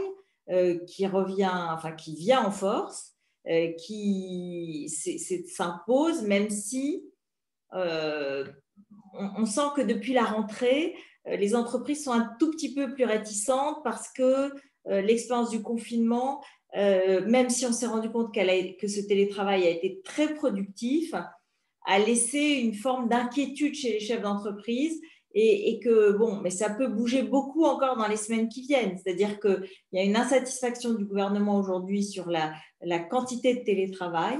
Et donc, il n'est pas possible que le message euh, qui sera donné demain soir sera il faut accentuer le télétravail par rapport à ce qui existe aujourd'hui et, euh, continuer à convaincre les chefs d'entreprise que ce télétravail euh, est efficace. Et du coup, est-ce que les femmes de plus de 45 ans ne sont pas bah, enfin, d'une certaine façon, les, les, postulantes idéales pour ce télétravail euh, Vincent Poirel? Euh, c'est un peu une question compliquée, ça. Euh, pourquoi, pourquoi plus les femmes que les hommes idéales pour ce travail? Est-ce, est que parce que elles, ont parfois des contraintes aujourd'hui euh, en, tant qu'aidante euh, pour des personnes âgées, parce qu'elles peuvent être, euh, on sait très bien que la répartition des tâches elle est, à la maison, elle n'est pas extrêmement égalitaire, même si on a fait des progrès. Et, je comprends votre question. Je comprends votre question. Du, coup, ça va être un, un positif et un négatif. déjà, déjà, je voudrais dire que toutes les entreprises, la, leur préoccupation première, ça a été de protéger leurs collaborateurs. Donc c'est vrai, vous avez raison. Elles les ont incités à faire beaucoup de télétravail. D'ailleurs, on n'a fait que du télétravail pendant une certaine période. Et il se trouve que pour certaines fonctions pour lesquelles c'est possible, euh, et aujourd'hui, euh, elles continuent à le faire. Par contre, pour d'autres fonctions où on a besoin soit du collectif, soit d'un outil de production, elles, euh, elles ont, c'est vrai, ben, redemandé aux collaborateurs de revenir en entreprise. et peut-être que le gouvernement va essayer de les inciter, on verra demain soir, à, réenclencher le, télétravail. Je ne sais pas. Est-ce que c'est un avantage pour les femmes de 45 ans? Alors oui, oui, si les entreprises sont prêtes à donner l'ouverture du télétravail dès l'embauche. Euh, et ça, c'est pas simple parce que quand on va intégrer un collaborateur, et c'est un peu le problème qu'on a sur les. Je fais un parallèle qui va peut-être choquer des gens, mais sur les stagiaires, on a dit tout à l'heure, c'est difficile de trouver un stage aujourd'hui. Mais oui, c'est difficile de trouver un stage aujourd'hui parce que comment on fait pour accueillir un stagiaire qui va travailler depuis chez lui? Bien sûr. C'est compliqué. Donc oui, si les entreprises sont prêtes à ouvrir le télétravail tout de suite, et dans ces cas-là, ça va être une opportunité pour les femmes de 45 ans de travailler depuis chez elles. Alors, le télétravail, ça ne veut pas dire 100% euh, de télétravail. Non, bien sûr. Ça, on est en train d'évoluer vers une forme de télétravail euh, euh, deux jours, trois jours présentiels, deux jours télétravail, etc. On est quand même dans une, forme un peu différente. Alors, si on, si on part sur du télétravail comme on le vit actuellement et pas un télétravail à 100%, ça va être un bonus pour tout le monde parce que même des gens qui habitent plus loin, je ne sais plus qui le disait tout à l'heure, ben, si on dit qu'on va faire une heure et demie de trajet, mais que deux ou trois fois par semaine, ben, l'entreprise va être rassurée.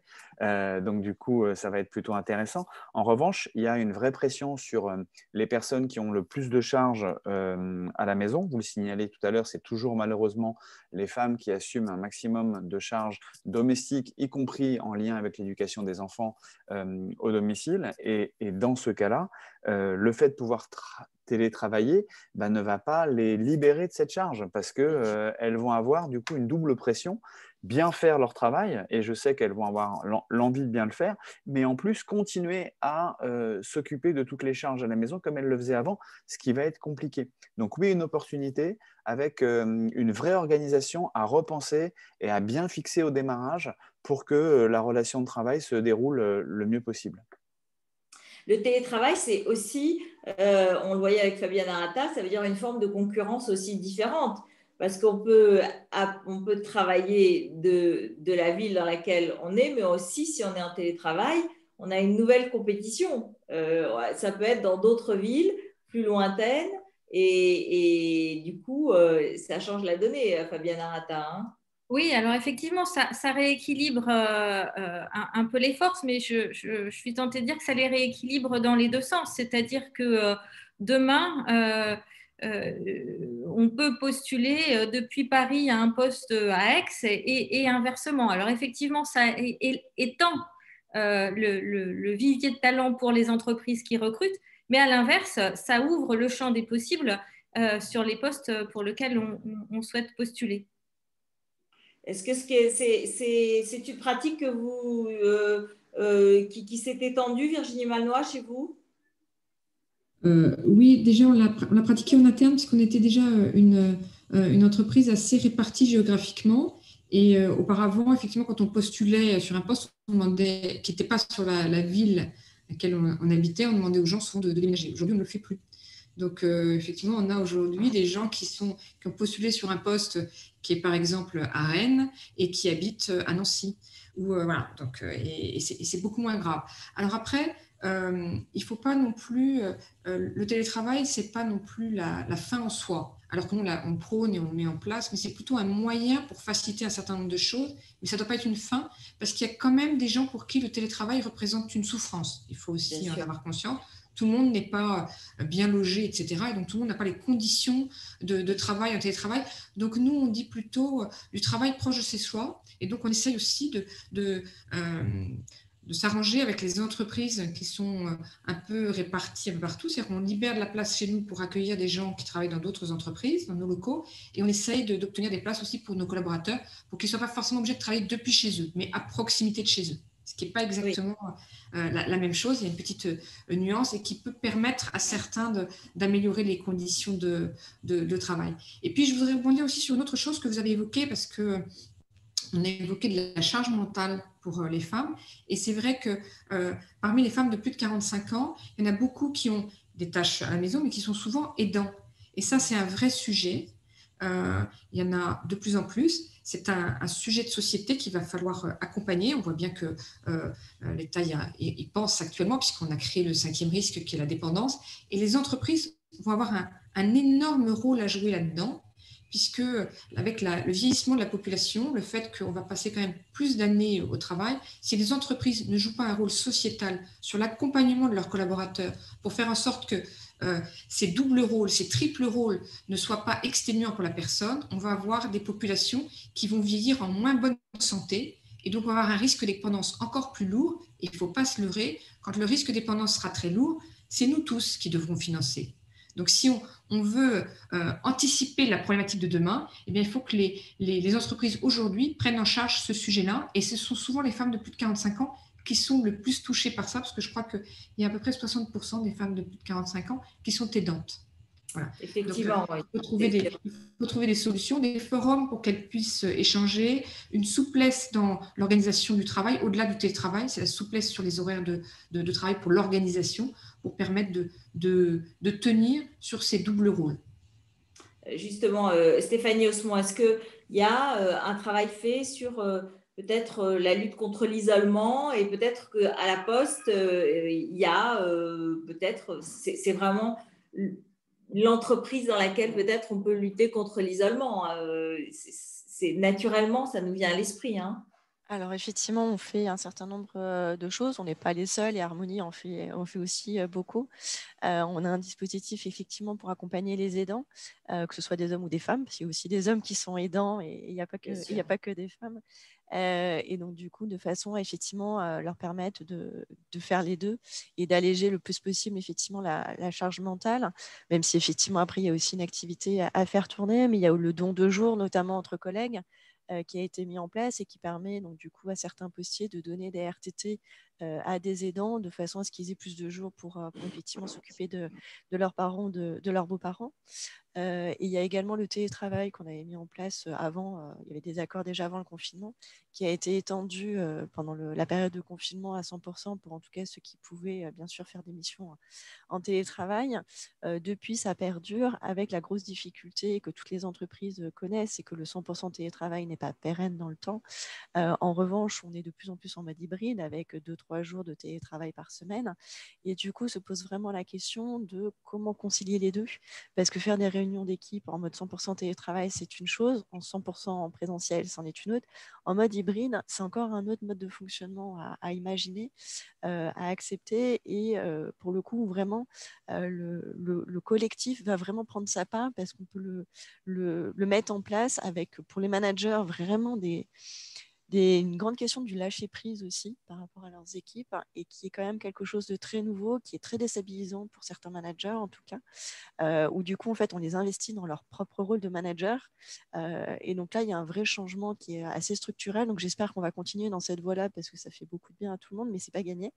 Euh, mais en tout cas ça permet effectivement et c'est la force là pour le coup pour les accompagner, pour accompagner le manager parce que ça marche dans les deux sens de mon point de vue, d'avoir effectivement des équipes qui sont très diverses avec des jeunes et des moins jeunes, avec des hommes, des femmes, avec des compétences diverses et des personnalités, qui permet justement de créer ce collectif pour trouver ensemble des réponses pour euh, travailler en mode hybride euh, avec des personnes qui vont être quelques jours en télétravail. parfois, c'est juste chez eux, à côté, euh, mais parfois, effectivement, à plusieurs kilomètres.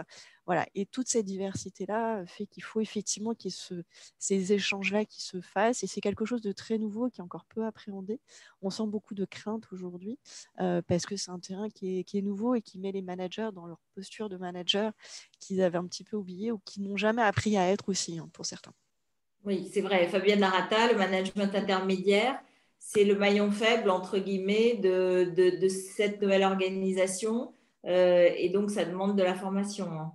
Absolument. Je dirais que le virage majeur que les entreprises ont à prendre aujourd'hui en termes d'organisation du travail, c'est cette hybridation euh, des équipes et, de l'organisation et donc euh, la, la, la, formation, la transformation des managers en, en ce que je dirais leader, c'est-à-dire comment est-ce qu'en tant que personne, je vais embarquer mes équipes euh, sans avoir le contrôle? Et donc, ça nécessite qu'ils sortent tous de leur zone de confort. Et donc, une grosse, grosse action de formation pour l'ensemble des managers et en particulier les managers de terrain. Et je pense que là, les, femmes et les femmes d'expérience, euh, je crois que c'est Virginie tout à l'heure qui parlait d'une certaine maturité. Euh, voilà, c'est aussi cette maturité-là, cette expérience de la vie qui, va être utile sur le terrain pour ces nouvelles formes de management. Oui, Aurore Ruffier, on, sent cette, euh, cette disponibilité euh, chez les femmes euh, de plus de 45 ans qui viennent vous voir ou, au contraire, bon, une forme de résistance, hein, d'inquiétude non, moi je crois qu'il y a une vraie ouverture là-dessus. L'hybridité, donc, elle va rester. Donc il faut effectivement, c'est important de l'appréhender. Et, et, par contre, effectivement, comme c'est un apprentissage, autant le faire dans un cadre bienveillant. Donc, c'est l'intérêt, effectivement, de s'habituer au format en visioconférence, de participer à des ateliers, de faire des simulations d'entretien sur ce format-là qui est nouveau, parce que, effectivement, c'est certainement ce à quoi on, va être invité par les, par les recruteurs. Mais, mais j'ai confiance, non, dans, dans, dans l'envie euh, d'apprendre à apprendre, la capacité à gérer euh, la nouveauté des, personnes qu'on accompagne.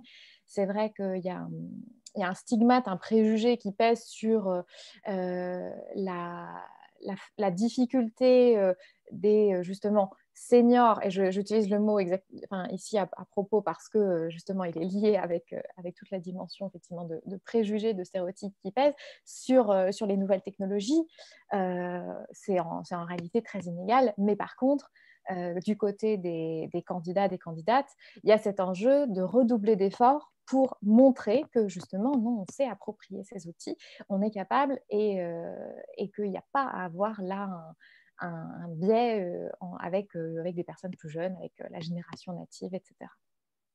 Qu'est-ce qu'on peut donner maintenant comme conseil très concrètement pour toutes ces femmes qui nous écoutent? Et moi, je vois passer tous les messages de réaction à tout ce qu'on est en train de dire et, on, aura des questions après.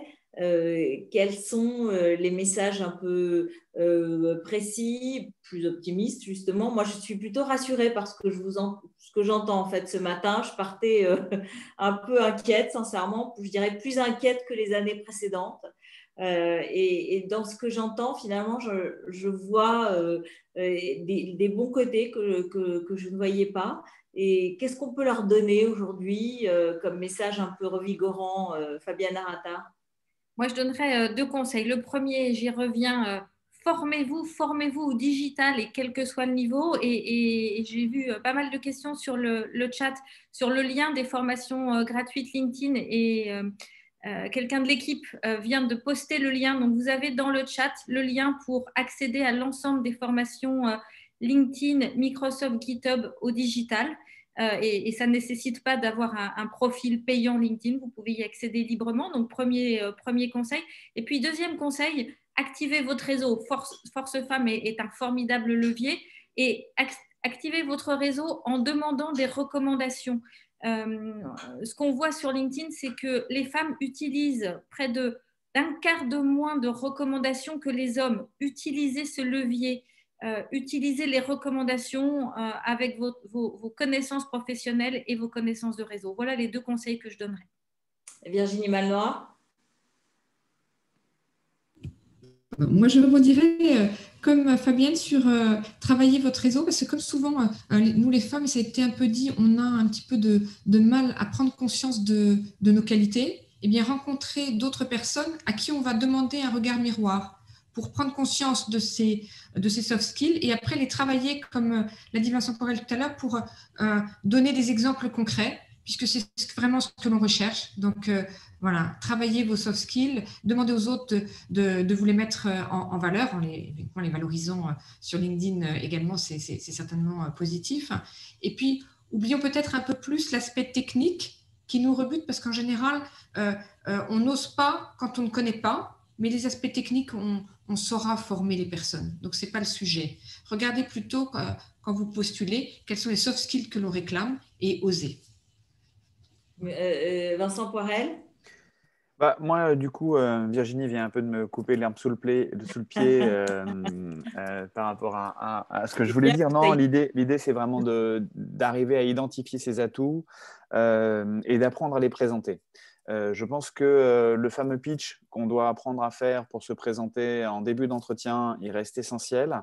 Et qu'ensuite, euh, il faut vraiment travailler sur la manière dont on va pouvoir présenter son parcours de manière très factuelle à des recruteurs ou dans un CV ou dans un petit mot d'introduction euh, si la lettre de motivation n'est pas forcément lue euh, pour, qu'on puisse accrocher le recruteur euh, en, mettant en avant les réalisations qu'on a faites. Et tout à l'heure, j'ai vu passer tout un tas de soft skills dans les commentaires. Donc c'est vrai, hein, donc, la, prise de recul, la capacité à gérer des projets difficiles dans le stress. voilà. Il y a beaucoup de choses hein, qui, sont là.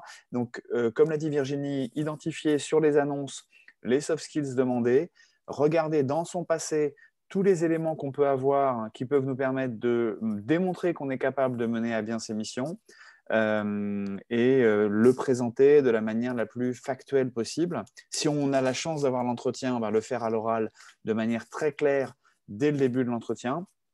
Et si on n'a pas cette chance-là, euh, au moins l'avoir fait dans le CV, dans la lettre de motivation ou dans le mail d'accompagnement pour qu'on puisse impacter le recruteur. J'imagine que sur son profil LinkedIn, on a également intérêt à présenter les éléments de manière factuelle avec les réalisations, quelques chiffres, quelques données impactante.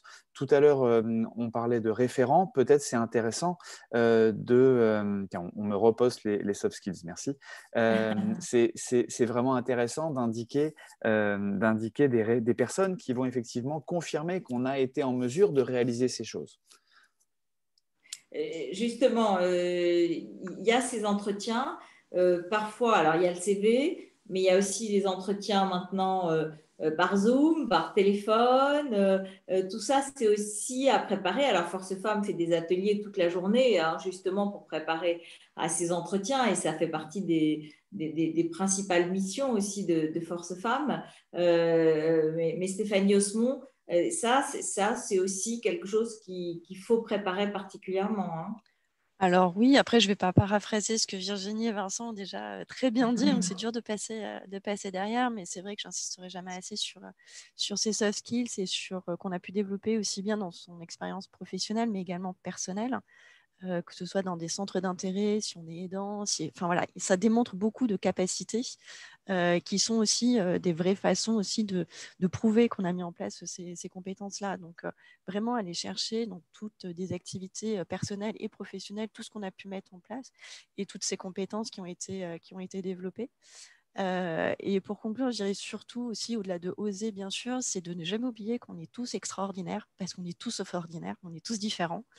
Euh, et je suis mais euh, à 200% persuadée que c'est cette diversité qui fait la force d'une entreprise, qui fait la force d'un collectif. Et donc justement, en fait, le CV, j'ai vu pas mal de commentaires passer sur le CV. Il faut vraiment que sur votre CV, euh, que vous mettiez l'âge ou pas, ou une photo ou pas, reflète effectivement votre côté unique euh, parce que c'est ce qu'un recruteur va chercher en fait, c'est ce côté unique. Et encore une fois, le côté technique, euh, la plupart des entreprises ont des, instituts de formation, donc il ne faut pas se focaliser que sur ça, mais vraiment sur votre côté unique et extraordinaire.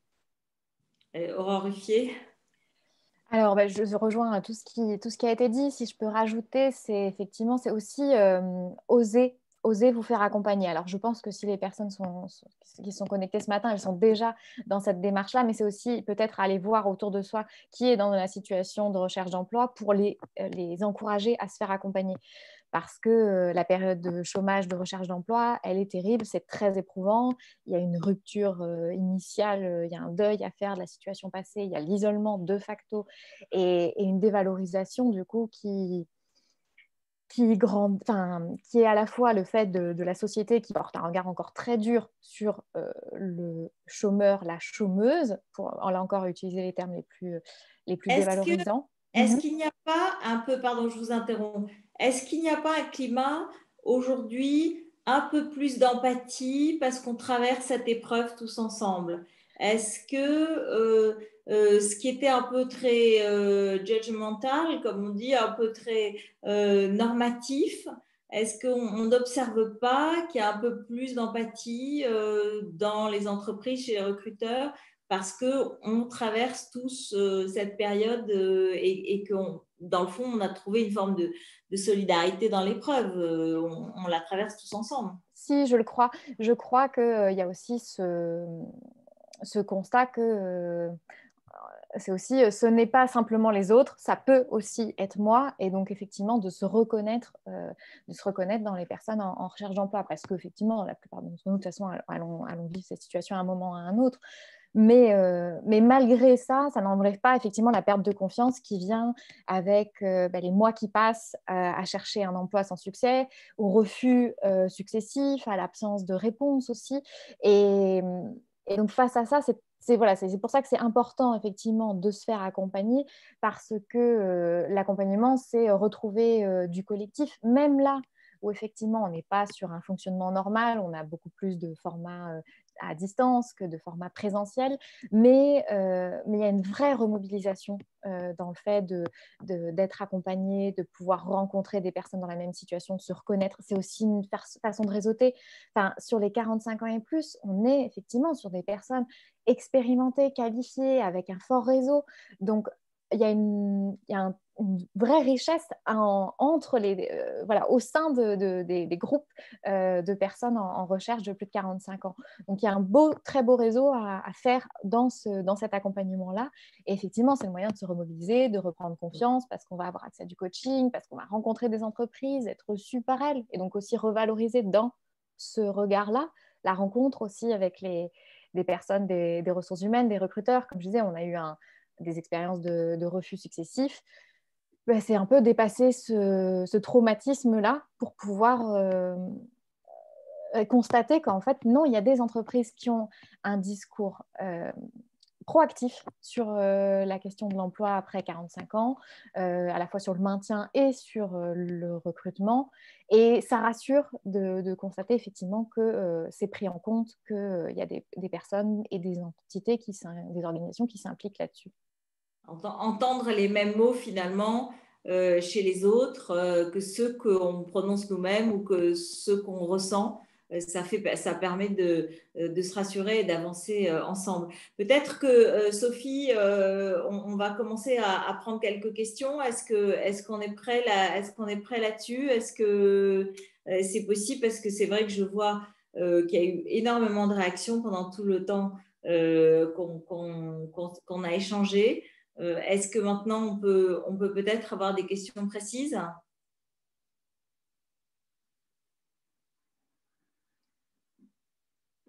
Alors, Sophie, Sophie, euh, Sophie est à Force Femme. Est-ce qu'on on peut, euh, on peut maintenant aller, se dialoguer avec les femmes qui nous écoutent Bon. Je vais l'appeler pour vérifier. les joies du direct, ça. C'est ça, les joies du direct, c'est c'est euh, euh, tout à fait. Euh, peut-être que vous, en voyant les, réactions, il y a des choses que non. Oui, alors moi, je vais déjà donner une première réponse. J'ai vu beaucoup, beaucoup, beaucoup de questions pour, concernant le lien LinkedIn des formations gratuites. Ce que je propose, c'est que Sophie le mettre euh, probablement. Donc, il, est, il figure à plusieurs reprises dans le chat. Donc, je vous invite à, remonter sur le menu déroulant du chat et vous trouverez le lien. Mais euh, on, va travailler avec les équipes de Force Femmes pour que le lien figure sur le site Force Femmes de sorte que vous puissiez y accéder. Euh, oui, c'est vrai que j'ai vu, vu aussi des questions là-dessus, et c'est vrai que ça fait partie des, des, choses. Je vois aussi les réactions sur le mot d'empathie que j'ai utilisé et qui a été un petit peu, euh, qui a surpris quelques femmes qui disent non, non, on ne voit pas exactement cette empathie, euh, euh, cette empathie en fait aujourd'hui. C'est ce que vous constatez? Alors, je ne sais pas s'il y a plus d'empathie, par contre, il y a une vraie compréhension sur euh, peut-être euh, des difficultés euh, de connexion, des petits retards, des, des, bruits qui vont se passer à la maison pendant un entretien. Voilà. Là, autant avant, le, avant qu'on ait vécu le confinement, c'était des choses où on disait, ah ben non, un entretien vidéo, ça doit être professionnel, on doit être dans les mêmes conditions qu'un entretien de face à face, c'est, pas, c'est, c'est difficilement acceptable. Aujourd'hui, ça va vraiment être beaucoup plus décontracté et totalement accepté euh, s'il y a euh, une tête blonde petite ou moins euh, qui passe à côté de l'écran, s'il y a des bruits pendant l'entretien, s'il y a un peu de retard. Voilà. Donc là, là-dessus, il, y a, je pense, beaucoup plus d'acceptation de, de, des aléas de la vie, même au cours d'une relation de recrutement. Sophie, vous m'entendez, Sophie Fenot? Oui, est-ce qu'il est y a des questions qu'on peut peut-être commencer à, poser à nos intervenants? Tout à fait. Alors, nous, on a noté de notre côté beaucoup de questions euh, autour de l'adaptabilité et des concessions que doivent faire les femmes de plus de 45 ans pour retrouver un emploi.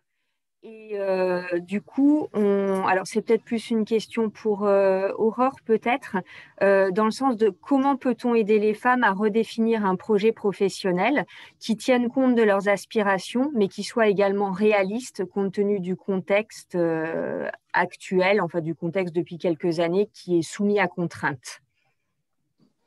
alors c'est un métier, hein, c'est un métier en soi. Bah, effectivement, non, c'est vraiment une démarche à mettre en place, euh, soit de manière collective, effectivement. Euh, nous, on fait à la fois par des, par des ateliers en petits groupes de 4 à 6 personnes qui se retrouvent pendant un mois, ou de manière individuelle avec une personne qui va effectivement accompagner euh, plus particulièrement une personne en poste qui va accompagner une personne en recherche d'emploi, comme c'est le cas aussi à, Force Femmes. Et, là, on peut aussi se rapprocher sur euh, la dynamique secteur, voilà, le, positionnement, euh, le positionnement vraiment dans, dans, le, dans le marché. Mais effectivement, en tout cas, c'est très important de d'aller chercher ce regard extérieur parce que voilà, je ne peux pas répondre pour toutes parce que c'est très, très au cas par cas, euh, mais, euh, mais c'est toujours important effectivement de, pouvoir avoir ce, cet apport euh, extérieur sur son projet, pouvoir confronter sur effectivement ce qui est réalisable, quelles sont mes compétences transférables que peut-être moi-même je ne vois pas, je ne vois plus, et pourtant elles sont là. Et, et, bon, et après nous aussi et c'est à nous aussi, effectivement, les acteurs, euh, voilà, notamment euh, Force Femmes, de porter le discours auprès des entreprises pour être euh, plus réceptifs de personnes ayant fait des reconversions, de, personnes en général, voilà, de femmes de, plus de 45 ans. Mais voilà, on a, aussi un double travail, nous, effectivement, à la fois sur l'accompagnement et puis sur la sensibilisation à mener. Autre question, Sophie? Oui, alors justement, euh, je rebondis sur... Euh, plus, plus fort euh, Là, c'est mieux. Très bien, voilà. Je rebondis donc sur euh, les, compétences transférables. On a aussi beaucoup de questions à ce sujet-là parce qu'il y a effectivement un discours ambiant autour de ça et le fait qu'il faut se recentrer là-dessus et que ça permet de changer de secteur. Et beaucoup de femmes notent dans les questions qu'elles posent qu'en réalité, quand elles arrivent dans des entretiens, au final, euh, les entreprises sont peu ouvertes à ces compétences transférables de leur point de vue et qu'il y a une forme de copier-coller qui est souvent favorisé, d'avoir encore fait le même métier avant dans la boîte d'à côté, et que finalement cette question des, des compétences transférables est aujourd'hui peu regardée dans les processus d'entretien d'embauche. Peut-être, d'après ce qu'elles disent, regarder au départ, dans le premier entretien, mais au bout du troisième entretien, finalement, on finit souvent par choisir quelqu'un qui a fait la même chose dans l'entreprise voisine. Oui, c'est ce qu'on ce qu'on observe, Fabienne Rata, Vincent Poirel. Oui, euh, alors effectivement, et, la raison pour laquelle on observe une différence entre le, premier entretien et on va dire les, les tout derniers, c'est qu'en général, les premiers entretiens sont plutôt tournés par des équipes de recrutement, donc qui sont aguerries et, et qui ont fait ce chemin de prise de conscience, euh, d'avoir des équipes diverses, euh, d'avoir des compétences transférables, là où les entretiens, on va dire, de fin de processus sont plutôt euh, menés par les managers directs, qui n'ont pas encore été complètement immergés dans cette nature de réflexion. Et c'est là où un partenariat équipe RH, équipe business prend tout son sens. et, et le travail des équipes RH et des équipes de recrutement consiste à mobiliser et à former les managers à cette ouverture vers la diversité, à cette ouverture vers des compétences transférables. Et leur apprendre finalement à transformer ces compétences transférables en efficacité immédiate et, euh, à, les, comprendre, à les, interpréter et à aider à aider les personnes euh, qui arrivent euh, à les appliquer finalement, Vincent Poirel. Ça, ça existe aujourd'hui? Euh, bah, ce, qui va, ce qui va être essentiel, hein, c'est que l'entreprise qui recrute euh, travaille sur les compétences attendues sur le poste, mais pas seulement les compétences techniques, l'ensemble des compétences. Et du coup, ils vont vraiment devoir faire un travail avec des méthodes, comme une méthode de l'incident critique, par exemple, de savoir où est-ce que je vais avoir besoin de, mon, de la personne que je vais recruter, à quel moment elle va être clé.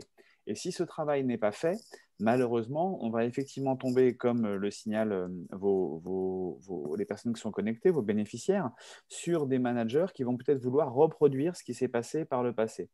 donc, il y a un vrai travail à faire, comme l'a signalé Fabienne Arata, entre le RH de l'entreprise et la personne qui va recruter, mais aussi si l'entreprise passe par un cabinet de recrutement eh bien, ou avec un, intermédiaire de l'emploi euh, public, eh bien, ça va être de travailler avec cette entreprise justement pour essayer de le faire évoluer et de lui démontrer que ben, peut-être que c'est des informations dont il pense avoir besoin immédiatement, mais que c'est ses compétences euh, techniques, en fait, demain, il n'en aura plus besoin et qu'il va plutôt devoir tabler sur ses compétences transférables c'est difficile de dire que euh, toutes les entreprises vont faire ça demain, tout de suite.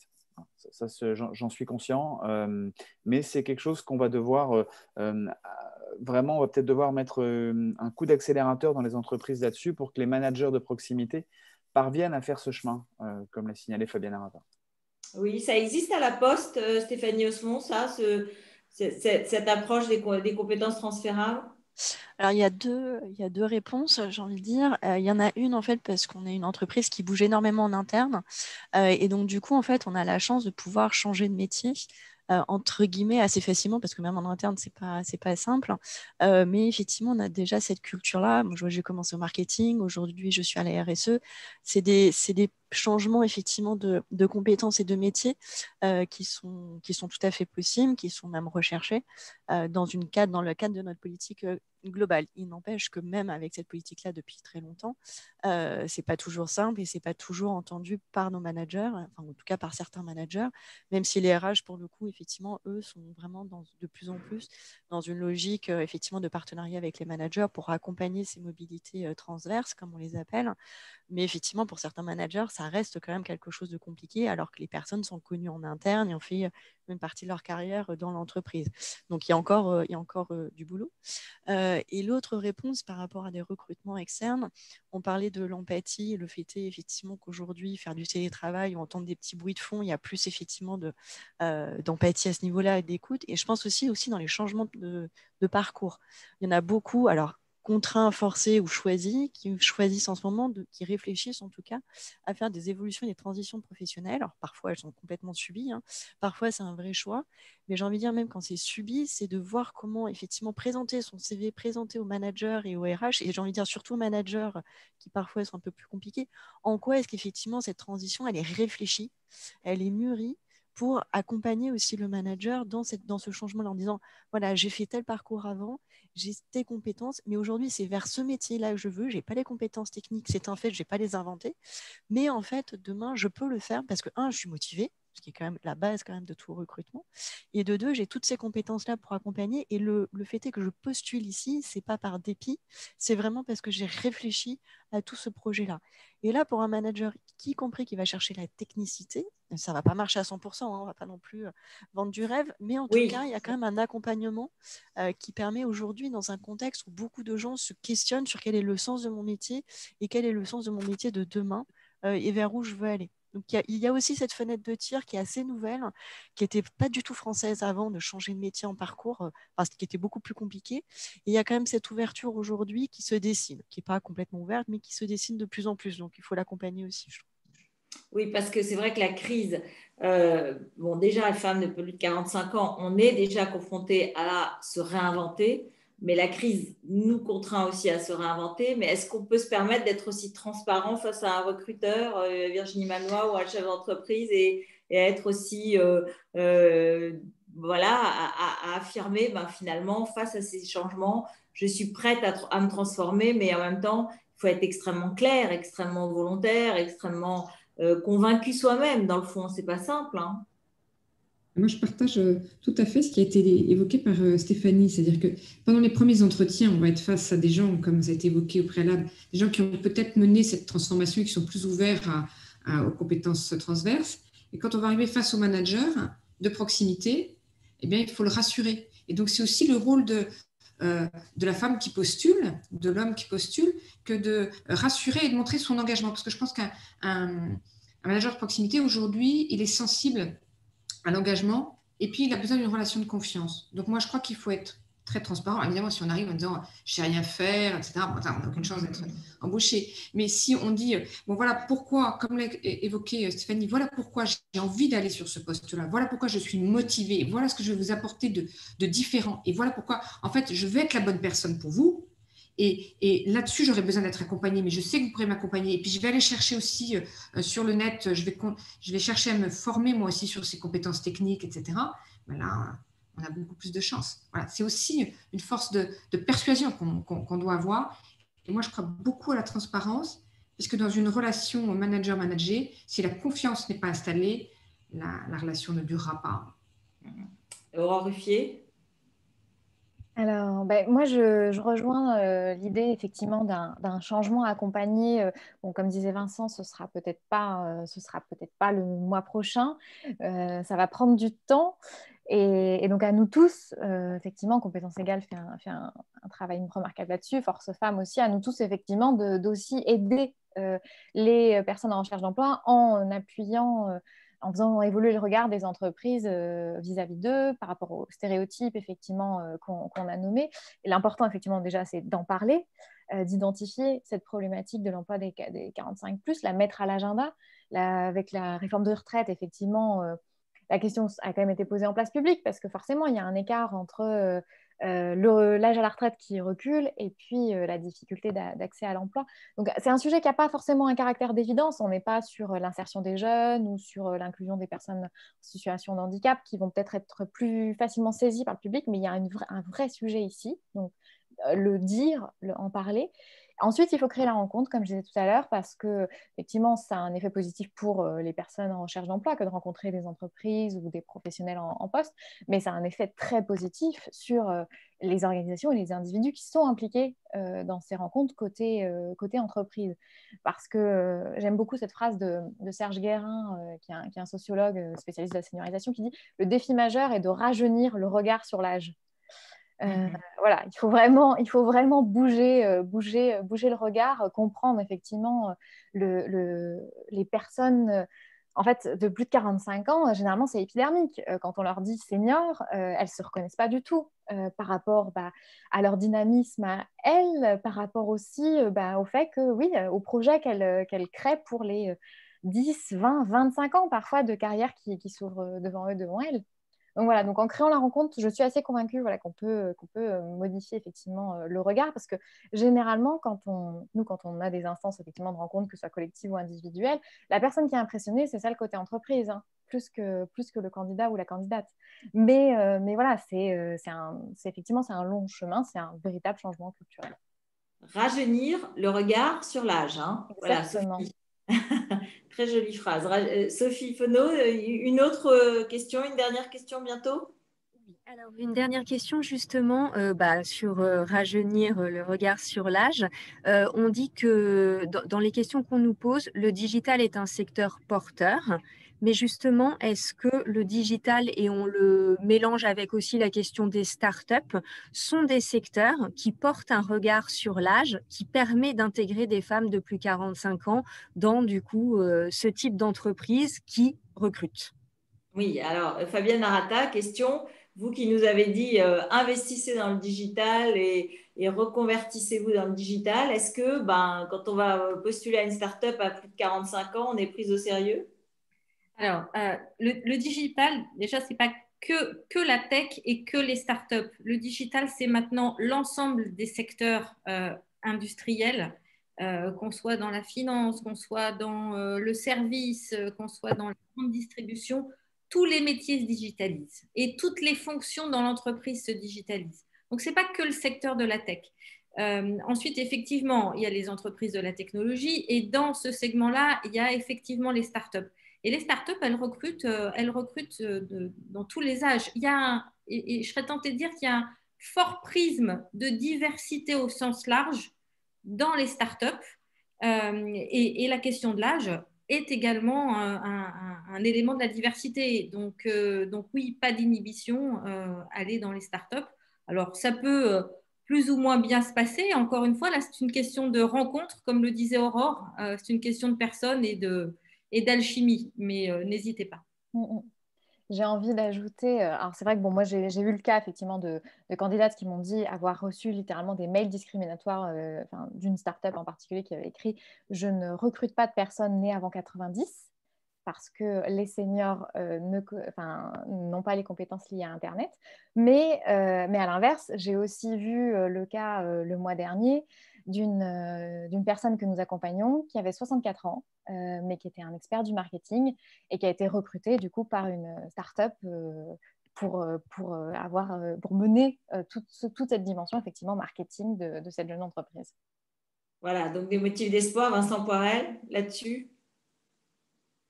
Je voudrais revenir sur ce que Aurore a dit, qui, qui, me fait un peu dresser les cheveux sur la tête de savoir qu'il y a encore des entreprises euh, euh, qui, qui, vont dire à des candidats on n'embauche pas de gens euh, qui sont nés après 90. Donc, par rapport à, ça, les entreprises ont quand même. Avant, avant 90. Avant 90, pardon, oui, bien sûr. Excusez-moi. Euh, les, entreprises ont beaucoup travaillé euh, sur cette question de la discrimination dans l'accès à l'emploi.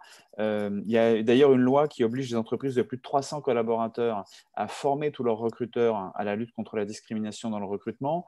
Il y en a même des plus petites, bien sûr, qui travaillent sur cette question au quotidien. Mais ce qui est vraiment important, comme on l'a dit tout à l'heure, c'est qu'il y a deux niveaux de recrutement. C'est-à-dire qu'il y a les RH qui sont généralement bien formés, qui connaissent ces règles et qui ne vont pas tenir compte des critères discriminatoires, même s'ils sont nombreux et que ça peut être compliqué parfois. Euh, et puis après, il y a les opérationnels ou des chefs d'entreprise qui ne connaissent pas du tout ces, éléments-là, parce que notamment si on crée une start-up, peut-être qu'on est un technicien à la base et qu'on a eu une bonne idée et qu'on avance sur cette idée-là. Et donc, il y a toute une culture à faire, euh, tout euh, un tas de règles à apprendre. voilà, c'est vraiment essentiel de, de, de, prendre conscience de l'importance euh, de la manière dont on va recruter, dont on va aborder euh, le marché, dont on souhaite insérer son entreprise dans la société. Parce que je pense que si on commence à raisonner de cette manière-là en excluant toute une partie de la société, ça va être très compliqué euh, d'un point de vue clientèle et ouverture aux autres. Dans un, grand nombre, dans un grand nombre de métiers, ça peut être très euh, contre-productif, en fait, même carrément. Est-ce que Sophie, on a d'autres questions? Est-ce que... Alors, on a une dernière question pour euh, rassurer du coup les candidates dans les entretiens de manière pratique.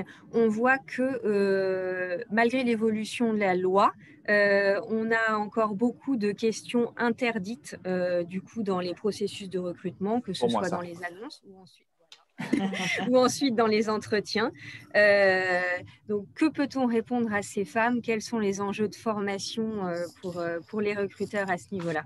Alors, avec l'association à compétences égales, qui est une association qui a plus de 10 ans aujourd'hui, qui, qui regroupe des entreprises et des cabinets de recrutement, on a décidé, avant l'obligation légale, de former tous nos recruteurs à la lutte contre la discrimination pour que les recruteurs ne posent pas de questions interdites malgré tout, il peut y avoir des recruteurs qui euh, n'ont pas été formés et qui vont avoir euh, qui vont poser des questions. Pourquoi? Parce que ça va générer des stéréotypes chez eux, donc ils vont aller chercher une information dont ils n'ont en fait pas besoin, mais euh, qui leur paraît hyper importante. Est-ce que vous avez des enfants? Ah, ah, ah, C'est super important. En fait, pourquoi ils posent cette question-là? Parce qu'ils ont une information à aller chercher sur la disponibilité de la personne le fait que la femme de plus de 45 ans en phase 2 ait des enfants ou pas ne va pas répondre à leurs questions. Elle va juste dire oui, j'ai des enfants. En fait, ça répondra même pas à leurs questions. Du coup, euh, il y a trois manières de, répondre à ça. La première manière, c'est de donner la réponse. Euh, même si on n'est pas à l'aise, euh, alors c'est pas ce que je vais conseiller bien sûr, mais parfois ça va nous soulager de donner la réponse. Et si ça n'a pas d'implication outre mesure, ben, et que vous êtes à l'aise avec cet élément-là, peut-être vous pouvez vous débarrasser de la question euh, en donnant la réponse. Il y a une deuxième euh, possibilité, c'est de rappeler au recruteur qu'il n'a pas le droit de poser cette question. Je vous déconseillerais d'aller dans ce champ-là, puisque si on commence à affronter le recruteur de cette façon-là, il va se braquer et peut-être se dire que euh, ben, finalement, ce n'est pas une bonne candidate qu'il a en face de lui. La technique la plus efficace, à mon sens, mais la plus difficile à mettre en œuvre, c'est d'essayer de chercher derrière la question interdite l'élément qui importe au recruteur. Si le recruteur nous demande si on a des enfants, c'est peut-être parce qu'il veut savoir si on est disponible ou à quel point on est disponible. Du coup, la réponse à faire serait peut-être euh, à vous chercher à savoir si euh, je suis disponible. Écoutez, voilà mes, mes plages de disponibilité. Et bien sûr, s'il est nécessaire de travailler un peu plus tard, deux, trois jours dans la semaine, je peux me rendre également disponible, il n'y a pas de problème. Je pense que le recruteur comprendra qu'il euh, n'a pas posé une question qui était dans les clous, que vous avez, vous, compris cet élément-là, mais que vous avez joué le jeu en lui donnant l'information, euh, et ça me semble essentiel. Voilà, ça c'est très très concret et très précis et très utile effectivement euh, comme, comme moyen. Hein, est-ce qu'il y a, d'autres questions pour conclure où on se sépare là, Sophie? Euh, on n'a plus de questions, mais on aurait voulu, pour illustrer tout ça euh, positivement, euh, diffuser la vidéo d'une personne qui a retrouvé un emploi et qui, du coup, qui a été accompagnée par Force Femmes et qui souhaitait aujourd'hui témoigner de son expérience. On y va.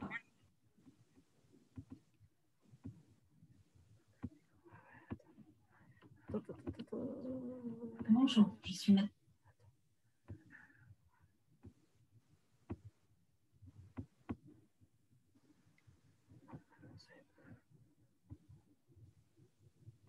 Bescan, j'ai 54 ans. Je suis conseillère en prévention des risques psychosociaux, du management de la qualité de vie au travail. J'ai pu bénéficier euh, au courant 2020 euh, d'un accompagnement avec Force Femmes parce que j'étais à un moment de ma vie où je me posais énormément de questions. Euh,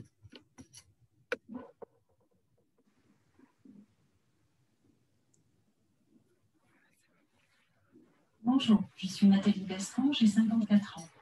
Je suis conseillère en prévention des risques psychosociaux, du management de la qualité de vie au travail.